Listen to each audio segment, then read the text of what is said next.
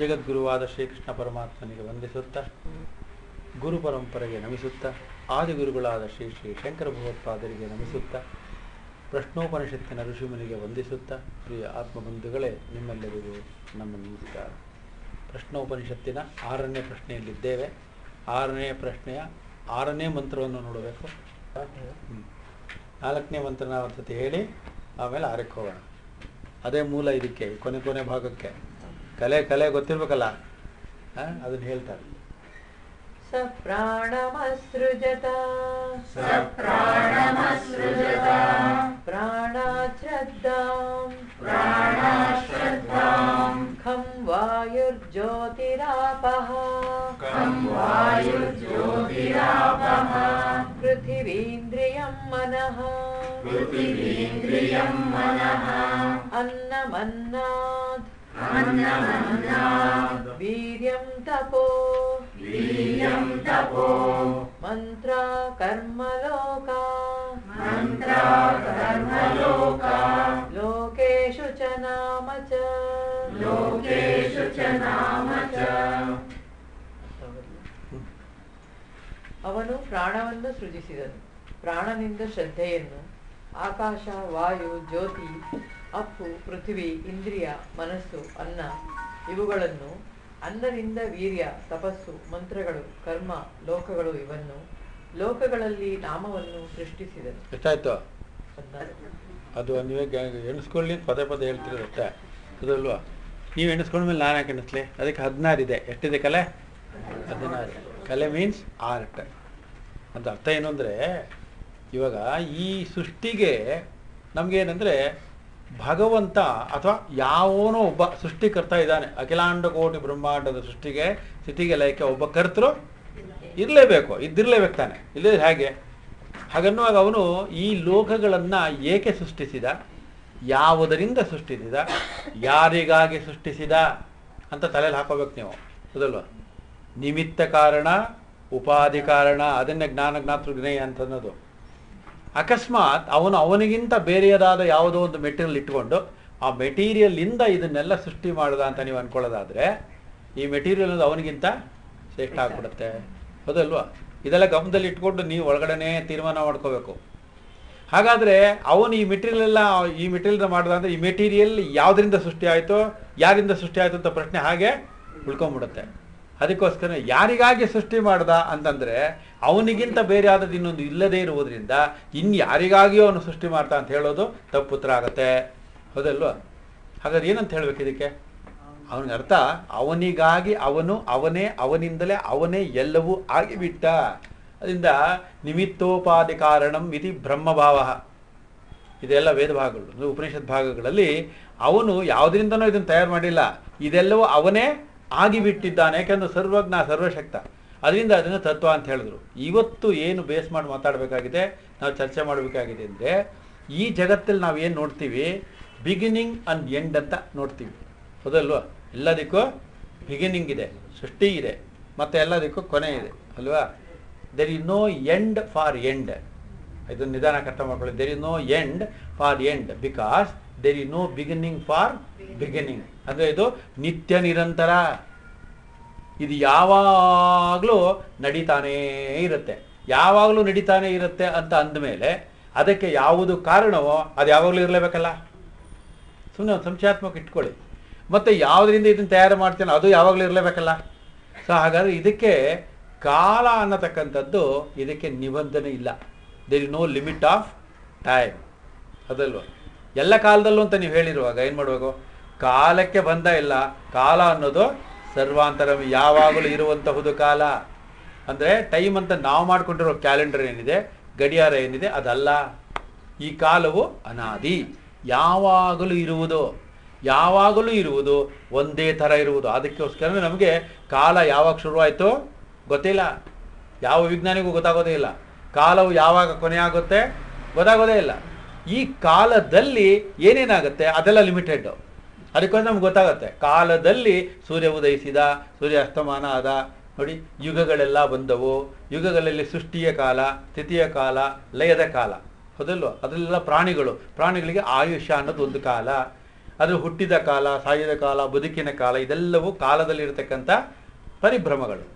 ಹಾಗಾದರೆ ಮೂಲದಲ್ಲಿ ಯಾವುದು ಕಾಲ ಅಂತಿದೆ, ಆ ಕಾಲದಲ್ಲಿ ಆಗತಕ್ಕಂಥ ಎರಡು ಇದನ್ನು ಇಟ್ಕೊಂಡು ನಾವು ಹೇಳ್ತಾ ಇರೋದು ಕಾಲವು ಎಂದಿಗೂ ಕಾಲವಾಗಲಾರದು. ಆದರೆ ಕಾಲದಲ್ಲಿ ಎಲ್ಲವೂ ಸೃಷ್ಟಿ.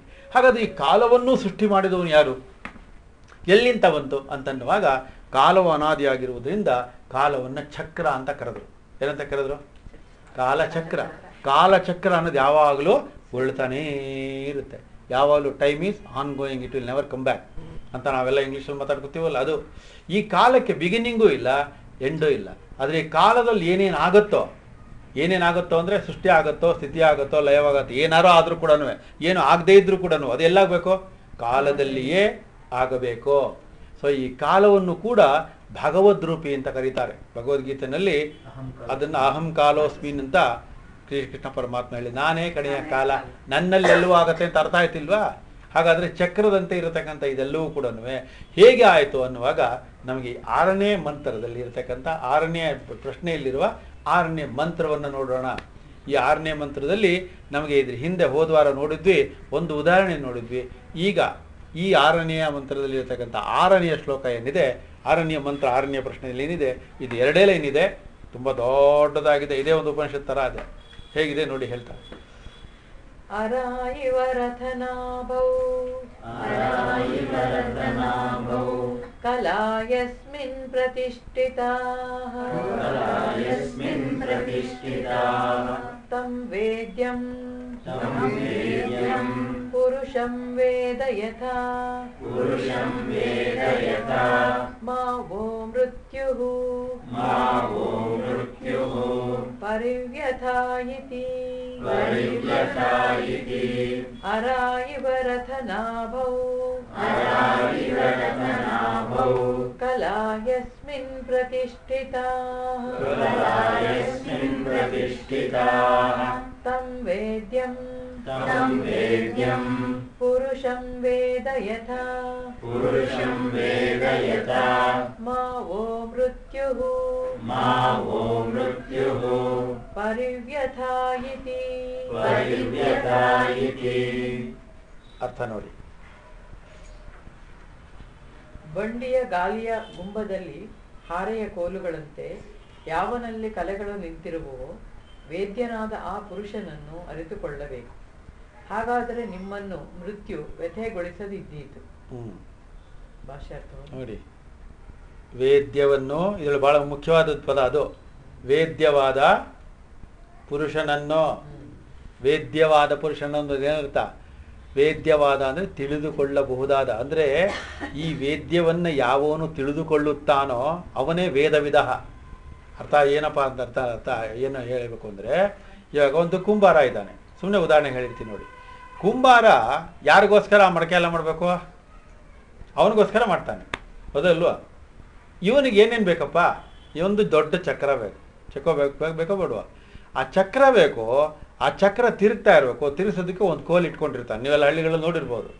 ಇದು ಹಿಂದಿನಿಂದಲೂ ಇದು ಉದಾಹರಣೆ ಕೊಡ್ತಾರೆ. ಇವರು ಮಧ್ಯಲ್ಲೂ ಅಂತ ಹೇಳ್ತಾರೆ. ಆ ಕಬ್ಬ ಕೋಲಿನಿಂದ ಅದನ್ನ ತಿರುಗಿದಾಗ ಚಕ್ರ ತಿರುಗತ್ತೆ. ಮತ್ತೆ ಈ ಚಕ್ರದಲ್ಲಿ ಅವ್ನು ಮಾಡೋದು ಏನನ್ನ? ಮಡಕೆಯನ್ನು. ಆ ಮಡಕೆಯನ್ನು ಮಾಡೋದಕ್ಕೆ ಏನು ಬೇಕು ಅವನಿಗೆ? ಮಣ್ಣು ಬೇಕು ಆಮೇಲೆ ಆ ಮಡಿಕೆಯನ್ನು ಕಲ್ಸ್ಕೊಳ್ಳೋದಕ್ಕೆ, ಆ ಮಣ್ಣನ್ನು ಕಲ್ಸ್ಕೊಳ್ಳೋದಕ್ಕೆ ನೀರು ಉದಾಹರಣೆಗೆ ನೀರಿದೆ, ಮಣ್ಣಿದೆ ಚಕ್ರನೂ ಇದೆ ಆದರೂ ಮಡಕೆ ಆಗಲ್ಲ. ಯಾಕೆ?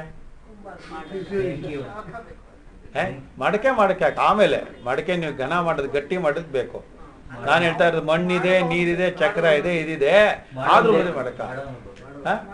ಮಾಡೋನು ಇದಾನೆ. ಆದ್ರೂ ಮಾಡಕ್ಕಾಗಲ್ಲ ಯಾಕೆ? ಇನ್ನೊಂದು ಬೇಕು. ಅದು ಹೇಳ್ಬೇಕು ನೀವು. ಎಕ್ಸಾಕ್ಟ್ಲಿ ಅಲ್ವಾ? ಮಾಡೋದಕ್ಕೆ ಬರಬೇಕಲ್ಲ. ಈಗ ನಮ್ಗೆಲ್ರಿಗೂ ಚಕ್ರ, ಮಣ್ಣು, ಗಿಣ್ಣು ಕೊಟ್ಟು ಮಾಡ್ತೀರಾ ಮಡಕೆ? ಮಡಕೆಯಲ್ಲಿ ಅಡುಗೆನೇ ಮಾಡಕ್ ಬರಲ್ಲ. ಮುಟ್ಟಿದ್ರೆ ಒಡೆದೇ ಹೋಗುತ್ತೆ. ಇನ್ನು ಮಡಕೆ ಏನು ಮಾಡ್ತೀರಿ? ಗೊತ್ತಾನೆ? ಅದರಿಂದ ಅರ್ಥ ಏನು ಅಂದರೆ ಇಲ್ಲಿ, ಯಾವ ಒಂದು ಮಡಕೆಯನ್ನು ಮಾಡಿ ಆಚೆ ಬೇ ಇದು ಮಾಡ್ತಾನೋ, ಒಡೆದ ಮಡಕೆ ಮತ್ತೆ ಚಕ್ರದ ಮೇಲೆ ಬರೋದಿಲ್ಲ ಅದು. ಇಲ್ಲಿ ಅರ್ಥ ಏನಪ್ಪಾ ಅಂದ್ರೆ, ಈಗ ಈ ಜಗತ್ತೆಂಬತಕ್ಕಂಥ ಸೃಷ್ಟಿಯನ್ನು ಇದೆಲ್ಲ ಮಡಕೆಯಿಂದನೇ, ಆ ಮಡಕೆನೇ ಇದು. ಎಲ್ಲ ಕೂಡ ನೀವು ಮಡಕೆಯನ್ನು ಮಾಡ್ತಾನೆ, ಭಗವಂತ ಮಾಡ್ತಾನೆ ಅಂದ್ರೆ ಅವನಿಗೆ ಉಪಾಧಿ ಬೇಕು, ಮಾಡೋ ಜ್ಞಾನ ಬೇಕು. ಅದಕ್ಕೆ ಇಲ್ಲಿ ವೇದ್ಯ ಅಂತ ಪದ ಬಳಸಿರೋದು ವೇದ್ಯ ಅಂದ್ರೆ ಸಕಲ ಜ್ಞಾನವನ್ನು ಉಳ್ಳಂತಹ. ಅವನಿಗೆ ಎಲ್ಲವೂ ಇದೆ. ಹಾಗಾದರೆ ಜ್ಞಾನ, ಜ್ಞಾತೃ, ಜ್ಞೇಯ ಏನಾಗಿರಬೇಕು? ಸ್ವಯಂ ಅದೇ ಅದೇ ಆಗಿರಬೇಕು, ಅವನೇ ಆಗಿರಬೇಕು. ಇದು ಸುಮ್ಮನೆ ಊಹೆ ಮಾಡ್ಕೊಂಡ್ರಾಗಲ್ಲ. ನಿಮಗೆ ಇದು ಮೆಲ್ಲೆ ಮೆಲ್ಲಿಗೆ ಒಳಗೆ ಹೋಗ್ತಾ ಹೋಗ್ತಾ ಭಾವಿಸೋಕ್ಕಾಗತ್ತೆ. ಯಾವ್ದಾರೋ ಒಂದು ಕಾರ್ಯ ನಾನು ಮಾಡ್ತೀನಿ ಅಂದರೆ ಕಾರ್ಯ ಮಾಡೋದಕ್ಕೆ ನನಗೊಂದು ನಿಮಿತ್ತ ಬೇಕು. ರೀಸನ್ ಹೌದಲ್ವಾ?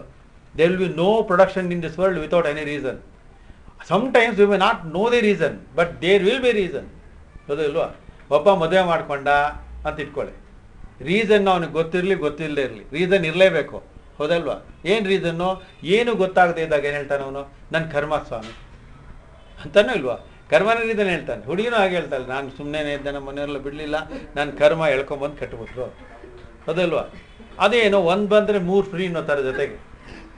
ಅದನ್ನು ಕೊನೆಗೆ ನಾವು ತುಂಬ ಡೆಸ್ಪರೇಟ್ ಆದಾಗ ಏನು ಹೇಳ್ತೀವಿ ಅಂದರೆ, ಕಾರಣ ಏನು ತೋಚದೇ ಇರುವಾಗ ಏನು ಮಾಡ್ತೀವಿ? ಇದು ಎಲ್ಲ ವಿಧಿ ಸ್ವ ತುಂಬ ವಯಸ್ಸಾದ ಮೇಲೆ ತುಂಬ ಎಲ್ಲ ನಮ್ಮ ವಿಧಿ ಸ್ವಾಮಿ, ಹಣೆ ಬರ ಸರಿ ಇಲ್ಲ? ಮಾಡ್ಕೊಳ್ಳೇ ಇಲ್ಲ ಅಂತ ಇಟ್ಕೊಳ್ಳಿ ಮದುವೆನ. ಅದಕ್ಕೊಂದು ರೀಸನ್ ಇರುತ್ತೆ. ಅವ್ನು ಕೇಳಿದ್ರೆ ಹೇಳ್ತಾನೆ, ನಾನು ಏನೂ ಅಂದ್ಕೊಂಡು ಮದುವೆ ಮಾಡ್ಕೊಳ್ಳಿಲ್ಲ. ಈಗೆಲ್ಲ ಜಗತ್ತು ಎಲ್ಲರೂ ನೋಡ್ತಾ ಇದ್ದೀನಿ. ನಾನು ಯಾರು ಮಾತಾಡ್ಸಲ್ಲ ಕ್ಯಾರೇನಾಗೆಲ್ಲ ಒಂಟಿ. ಸಂಸಾರಕ್ಕೆ ಸೇರಿಸೋದೇ ಇಲ್ಲ. ಎಲ್ಲ ಹಣೆ ಬರ ಸ್ವಾಮಿ ಎರಡಕ್ಕೂ ಕಾರಣ ಯಾವ್ದು ಹೇಳಿದ್ರು? ಅದ್ರ ಅರ್ಥ ಏನಾಯ್ತು? ಯಾವ್ದು ನಮಗೆ ಗೊತ್ತಾಗಲ್ವೋ ಅದು ಹಣೆ ಬರ. ಹೌದಲ್ವಾ? ಹಣೆ ಬರ ಅಂತ ನಾವು ಅಂತೀವಲ್ಲ? ಹಣೆ ಬರ ಅಂದ್ರಿಂದ ನಾವು ನೋಡೇ ಇಲ್ವಲ್ಲ? ನಮಗೆ ಗೊತ್ತೇ ಇಲ್ವಲ್ಲ?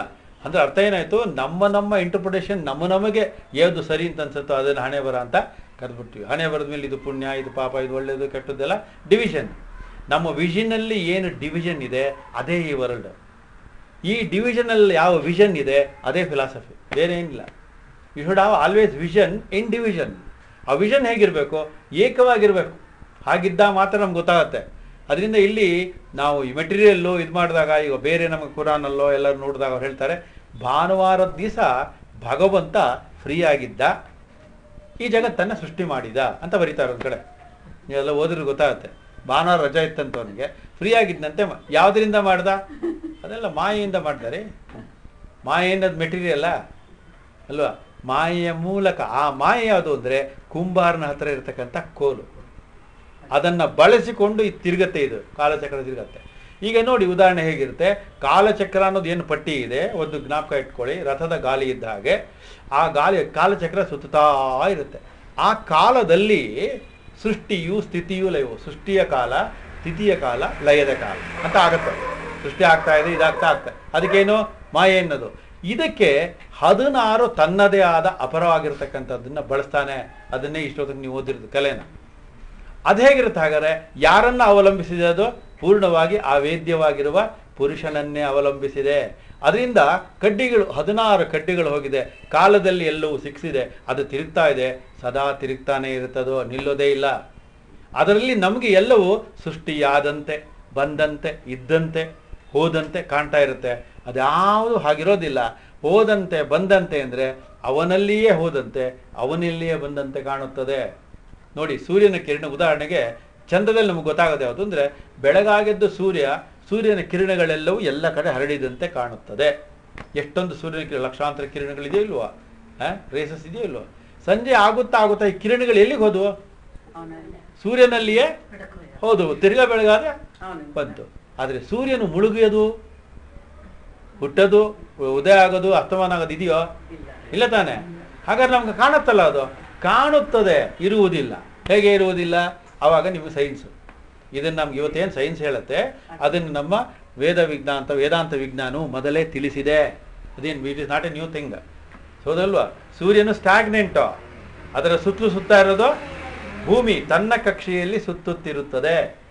ತನ್ನ ಕಕ್ಷೆಯಲ್ಲಿ ತಾನೂ ತಿರುಗುತ್ತಿರುತ್ತದೆ ಮತ್ತು ತಾನು ಸೂರ್ಯನ ಸುತ್ತಲೂ ತಿರುಗುತ್ತದೆ. Sun never sets sun never rises ಅಂದಮೇಲೆ ಯಾವಾಗಲೂ ಇದ್ದೇ ಇದೆ ಅದು. ರೇಸ್ ಬಂತು, ರೇಸ್ ಹೋಯ್ತು ಅಂತೇನಿದೆ ಯಾವಾಗಲೂ ಪ್ರಕಾಶಮಾನವಾಗಿದೆ. ಆ ಪ್ರಕಾಶಕ್ಕೆ ಯಾವುದು ಅಭಿಮುಖವಾಗಿದೆಯೋ ಆ ಭಾಗದ ಜನಗಳು ಪದೇ ಪದೇ ಇದನ್ನು ನೆನಪಿಟ್ಕೊಳ್ಳಿ. ಆ ಭಾಗದ ಜನಗಳು ಸೂರ್ಯನು ಹುಟ್ಟಿದನೆಂದು ಹೌದಿಲ್ವಾ ಅನ್ಕೋತಾರೆ, ತಿರುಗ್ತಾ ತಿರುಗ್ತಾ ಮತ್ತೆ ಏನಾಯ್ತು? ಅದಕ್ಕೆ ಯಾವುದು ವಿಮುಖವಾಗುತ್ತದೋ ಆ ಭಾಗದ ಜನ ಕತ್ತಲಾಯಿತು. ಸೂರ್ಯ ಹುಸ ಅಸ್ತಮಾನವಾದ. ಅಂತ ತಿಳ್ಕೊತೀವಿ. ವಾಸ್ತವದಲ್ಲಿ ಹುಟ್ಟೋದು ಇಲ್ಲ, ಸಾಯೋದು ಇಲ್ಲ. ಹಾಗಾದ್ರೆ ನಾವೆಲ್ಲ ಹೇಗೆ ಬದುಕಿದ್ದೀವಿ? ವಾಸ್ತವದಲ್ಲಿ ಅವಾಸ್ತವವಾಗಿ ಬದುಕ್ತಾ ಇದ್ದೀವಿ. ಅಂದರೆ ವಿ ಆರ್ ಇನ್ ಇಲ್ಯೂಷನ್ ಈ ಇಲ್ಯೂಷನ್ ಹೋಗಬೇಕು. ಭ್ರಾಂತಿ ಕಲ್ಪಿತಂ ಜಗತ್ ಕಲಾಶ್ರಯಂ. ಈ ಹದಿನೆಂಟು ಕಲೆ. ಅದಲ್ಲ ಈ ಹದಿನಾರು ಕಲೆ. ಈ ಹದಿನಾರು ಕಲೆಗಳನ್ನು ಬಳಸಿಕೊಂಡು ಸೃಷ್ಟಿಯಾದಂತೆ ಬಂದಂತೆ ಅಂತ ಹೇಳ್ತಾ ಇದ್ರಲ್ಲ ಅದಕ್ಕೆ ಶ್ರೀ ಶ್ರೀ ಶಂಕರ ಭಗವತ್ಪಾದರು ಏನು ಭಾಷೆಯಲ್ಲಿ ಹೇಳ್ತಾರೆ ನೋಡೋಣ ಅದನ್ನು ನಾವು ಒಂದಷ್ಟು ಚರ್ಚೆ ಮಾಡೋಣ. ಬಂಡಿಯ ಚಕ್ರದ ಸುತ್ತಲೂ ಇರುವ ಹಾರೆ ಕೋಲುಗಳು ಹ್ಮ್. ಹೇಗೆ ರಥನಾಭಿಯಲ್ಲಿ ಎಂದರೆ ಬಂಡಿಯ ಗಾಲಿಯಲ್ಲಿ ಗಾಲಿಯ ಗುಂಬದಲ್ಲಿ ಸೇರಿಕೊಂಡು ಅದನ್ನೇ ಆಶ್ರಯಿಸಿಕೊಂಡಿರುವುದೋ ಹಾಗೆ ಎಂದರ್ಥ. ಹ್ಮ್. ನೋಡಿ ಹಾಗಾದ್ರೆ ಏನಂತ ಅರ್ಥ ನಮ್ಮ ಕಾರ್ಗಳಲ್ಲೆಲ್ಲ ನೀವು ನೋಡಿರ್ತೀರ ಆಕ್ಸಲ್ ಇರುತ್ತೆ. ಅದು ಇಲ್ವಾ ಎರಡು ಕಡೆಗೂ ಅದು ಗುಂಬಗಳಲ್ಲಿ ಸೇರ್ಕೊಂಡಿರುತ್ತೆ ಅದು ಇದು ತಿರುಗ್ತಾ ಇರುತ್ತೆ. ಹೌದಲ್ವಾ ಇದು ತಿರುಗಿದಾಗ ಅದನ್ನು ಕಾಲಿನ ಹೋಲ್ಡ್ ಮಾಡ್ಕೊಂಡಿದೆ ತಿರುಗ್ತಾ ಇದೆ ಅಂತ. ಇನ್ನೂ ದೊಡ್ಡ ಉದಾಹರಣೆ ಹೇಳೋದಾದ್ರೆ ನೀವು ಸರ್ಕಸ್ಗಳಲ್ಲಿ ಅಥವಾ ದೊಡ್ಡ ದೊಡ್ಡ ಎಕ್ಸಿಬಿಷನ್ ಹೋದಾಗ ವೀಲ್ ಜಾಯಿಂಟ್ ಇದೆ. ಜೈಂಟ್ ವೀಲ್ ಜೈಂಟ್ ವೀಲ್ ದೊಡ್ಡದಾಗಿ ತಿರುಗ್ತಾ ಇರುತ್ತೆ ಅಲ್ವಾ? ಅದು ತೆಳಗಡೆ ಅವನೊಬ್ಬ ನಿಂತಿರ್ತಾನಲ್ಲ ಅವನ ಹತ್ರ ಅದಕ್ಕೆ ಭದ್ರವಾಗಿ ಅಲ್ಲಿ ನಿಂತಿರುತ್ತೆ. ಹೌದಲ್ವಾ ನಿಂತಿರುತ್ತೆ ಇಲ್ವಾ ಇದು ದೃಢವಾಗಿದೆ. ಆದ್ರೆ ತಿರುಗ್ತಾ ಇರೋದು ಅದು. ಹೌದಲ್ವಾ? ಅದು ತಿರುಗ್ತಾ ಇದೆ ಅಂತ ಅಂದಾಗ ಇದಕ್ಕೆ ಈ ದೃಢತೆಯಿಂದ ಎಲ್ಲವನ್ನು ಹಿಡ್ಕೊಂಡಿದೆ. ಹಿಡ್ಕೊಂಡಿದೆ ಅಂದ್ರೆ ಏನರ್ಥ? ತಾನೇ ತಾನಾಗಿ ಎಲ್ಲದರಲ್ಲೂ ಇದ್ದು, ಇದರಲ್ಲೂ ಇರುವವನು ಸದಾ ಯಾವುದು ಇರುವುದೋ ಅದಕ್ಕೆ ಎಂದಿಗೂ, ಎಂಡು ಬಿಗಿನಿಂಗು ಇರಕೂಡದು, ಇರಲಾರದು. ಗೊತ್ತಾನೆ ಇವಾಗ ಎಂಡ್ ಅಂತ ಯಾರಿಗಿದೆ? ಯಾವುದಕ್ಕಿದೆ? ಯಾವುದಕ್ಕೆ ಬಿಗಿನಿಂಗ್ ಇದೆಯೋ ಅದಕ್ಕೆ. ಅಂದ್ರೆ ಯಾವುದು ಅಂತ್ಯವಾಗುತ್ತದೆ ಈ ಜಗತ್ತಿನಲ್ಲಿ, ಅದಕ್ಕೆ ಆರಂಭವೂ ಇರುತ್ತದೆ. ಈಗ ಕಣ್ಬಿಟ್ಟು ನೋಡ್ಕೊಳ್ಳಿ ನೀವು. ಅಂದರೆ ನಾವೆಲ್ಲ ನೋಡ್ಕೋಬೇಕು. ಸಂಸಾರದಲ್ಲಿ ನಮಗಾಗುವ ಯಾವ್ಯಾವ ವಸ್ತು, ವ್ಯಕ್ತಿ, ವಿಚಾರಗಳ ಪರಿಚಯ ನಮಗಿದೆಯೋ ಯಾವ್ಯಾವುದು ಇಂದ್ರಿಯಗಳಿಂದ ನಾವು ಎಕ್ಸ್ಪೀರಿಯನ್ಸ್ ಮಾಡ್ಕೊಂಡಿದ್ದೀವೋ ಇದೆಲ್ಲವೂ ಒಂದು ಕಾಲದಲ್ಲಿ ಸೃಷ್ಟಿಯಾಗಿದೆ. ಒಂದು ಕಾಲದಲ್ಲಿ ಇದ್ದಂತೆ ಕಾಣುತ್ತದೆ. ಮತ್ತೊಂದು ಕಾಲದಲ್ಲಿ ಮುಗಿದು ಹೋಗುತ್ತದೆ. ಹೌದಲ್ಲ ಶರೀರದಿಂದ ಹಿಡಿದು ನಿಮ್ಮ ಭಾವನೆಗಳನ್ನೇ ನೋಡಿ. ಬೆಳಗ್ಗೆ ಇದ್ದಾಗ ಮಧ್ಯಾಹ್ನ ಇಲ್ಲ, ರಾತ್ರಿ ಇಲ್ಲ. ತಿರ್ಗಿ ನಾಳೆ ಇನ್ನೊಂದು ಐಡಿಯಾ ಎಷ್ಟು ಕೋಟಿ ಕೋಟಿ ಕೋಟಿ ವಿಚಾರಗಳು ನಿಮ್ಮ ತಲೆಗೆ ಬಂದರೂ ಕೂಡ ಅದು ಸ್ಟಾಗ್ನೆಂಟ್ ಆಗಿ ಯಾವುದು ನಿಲ್ಲುವ ಹಾಗಿಲ್ಲ. ತನ್ನ ರೂಪವನ್ನು ಇದನ್ನ ಕಾಲದಲ್ಲಿ ಬದಲಾವಣೆ ಆಗಲೇಬೇಕು. ಏಕೆ? ಇದು ನಿಯಮ, ಇದು ನಿಯತಿ. ತುಂಬಾ ಎಕ್ಸ್ಪರ್ಟೈಸ್ಡ್ ಮಹಿಳೆ, ಗೃಹಿಣಿ ಒಬ್ಬಳು ಕೂಡ ಅಡಿಗೆ ಮಾಡುವಾಗ ನೆನ್ನೆ ಮಾಡಿದಂತೆ ನಾಳೆ ಅದನ್ನೇ ಮಾಡಲಾಗುವುದಿಲ್ಲ. ಯಾಕೆ ಮಾಡಲಾಗುವುದಿಲ್ಲ? ಯಾಕೆ ಮಾಡೋಕ್ಕಾಗಲ್ಲ? ಯಾಕೆ ಅಂತ ನೋಡಿ, ದೋಷ ಹೇಗಿರುತ್ತೆ ಅಂತ ಕಂಡುಕೋಬೇಕು. ನೆನ್ನೆ ಮಾಡಿದ್ದು ಇವತ್ತು ಮಾಡಿದೆ. ಅಂದರೆ ನೆನ್ನೆ ಅನ್ನುವುದು ಇಂದಲ್ಲ. ಅಲ್ಲೇನಾಯ್ತು ಅಲ್ಲಿಗೆ? ಡೇ ಕಾಲ ಬೇರೆ. ಆಯ್ತು. ಕಾಲವು ಪರಿಚ್ಛಿನ್ನವಾಯ್ತೋ ಇಲ್ವಾ? ಮತ್ತೆ ವಸ್ತುಗಳು ಹಾಕೋದು. ನೆನ್ನೆ ನಾವು ಒಂದು ಪಾವು ಅಂತ ಏನಾದ್ರು ನೀವೇನಾದ್ರು ತೊಗರಿ ಬೇಳೆ ಹಾಕಿದ್ರೆ ಇವತ್ತು ಆ ಒಂದು ಪಾವು ಅಳದಾಗ್ಲೇ ಹತ್ತು ಕಾಳು ಕಮ್ಮಿ ಬಂದಿರ್ಬೋದು ಜಾಸ್ತಿ ಬಂದಿರ್ಬೋದು. ಸೊ ಮೈನ್ಯೂಟ್ ಅಂತ ನೀವು ಕರಿಬೋದು.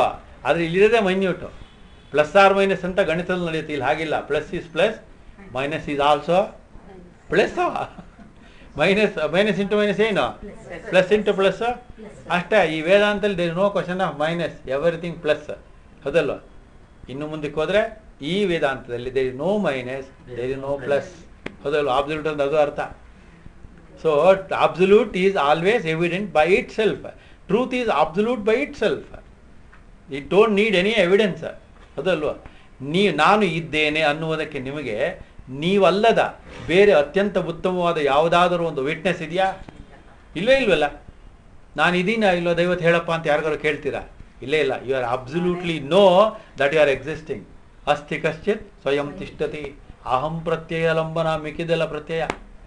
ಗೊತ್ತಾನೆ? ಅದನ್ನು ಇಲ್ಲಿ ಘನವಾಗಿ ಹೇಳ್ತಾ ಇದ್ದಾರೆ. ಯಾವುದನ್ನು ಈ ಪುರುಷ ಅಂತ ಮಧ್ಯದಲ್ಲಿ ಕರೆದಿಯಾರೋ ಅದನ್ನು ಪರಬ್ರಹ್ಮ ವಸ್ತು ಅಂತ ಕರೀತಾರೆ ಉಪನಿಷತ್ತಲ್ಲೆಲ್ಲ. ಯಾವ ಪರಬ್ರಹ್ಮ ವಸ್ತುವಿನಿಂದ ಈ ಹಾರೆ ಕೋಲೆಗಳೆಲ್ಲವೂ ಹೋಗಿ ಈ ಕಾಲಚಕ್ರದಲ್ಲಿ ಸಿಕ್ಕಿ ಸೃಷ್ಟಿ ಸ್ಥಿತಿಗೆ ಲಯಕ್ಕೆ ಕಾರಣವಾದಂತೆ ಕಾಣುತ್ತಿದೆಯೋ ಇದೆಲ್ಲವೂ ಕೂಡ ಮುಂದಕ್ಕೆ ಹೇಳ್ತಾರೆ ನೋಡಿ. ಹಾಗೆ ಪ್ರಾಣವೇ ಮುಂತಾದ ಯಾವ ಕಲೆಗಳು. ಯಾವ ಪುರುಷನಲ್ಲಿ ಹುಟ್ಟುವುದು ಇರುವುದು ನಾಶವಾಗುವುದು ಈ ಮೂರು ಕಾಲಗಳಲ್ಲಿಯೂ ನಿಂತಿರುವವೋ ಕಲೆಗಳಿಗೆ ಆತ್ಮನಾಗಿರುವ ವೇದ್ಯನಾದ ಅರಿಯಲ್ಪಡಬೇಕಾಗಿರುವ ಆ ಪುರುಷನನ್ನು ಪೂರ್ಣವಾಗಿರುವುದರಿಂದ ಅಥವಾ ಪುರು ಶರೀರದಲ್ಲಿ ಇದ್ದುಕೊಂಡಿರುವುದರಿಂದ ಪುರುಷನೆನಿಸಿಕೊಂಡಿರುವ ಆತ್ಮನನ್ನು ತಿಳಿಯಬೇಕು ಅರಿತುಕೊಳ್ಳಬೇಕು. ಹೇಗೆ ಅರಿತುಕೊಳ್ಬೇಕು ಅವರೇನೇ ಹೇಳ್ಬಿಟ್ರು ಅರಿತುಕೊಳ್ಳಬೇಕು. ಇವಾಗ ನಾವೇನು ಮಾಡೋಣ? ಅವರೇ ಹೇಳಿರೋದ್ರಿಂದ ಆಚಾರ ಹೇಳಿರೋದ್ರಿಂದ ಪುರದಲ್ಲಿರುವ ಈಶನನ್ನ. ಹೌದಲ್ವಾ? ಇವನನ್ನು ನಾವು ನಾವೇನಂತ ಕರೆಯೋಣ?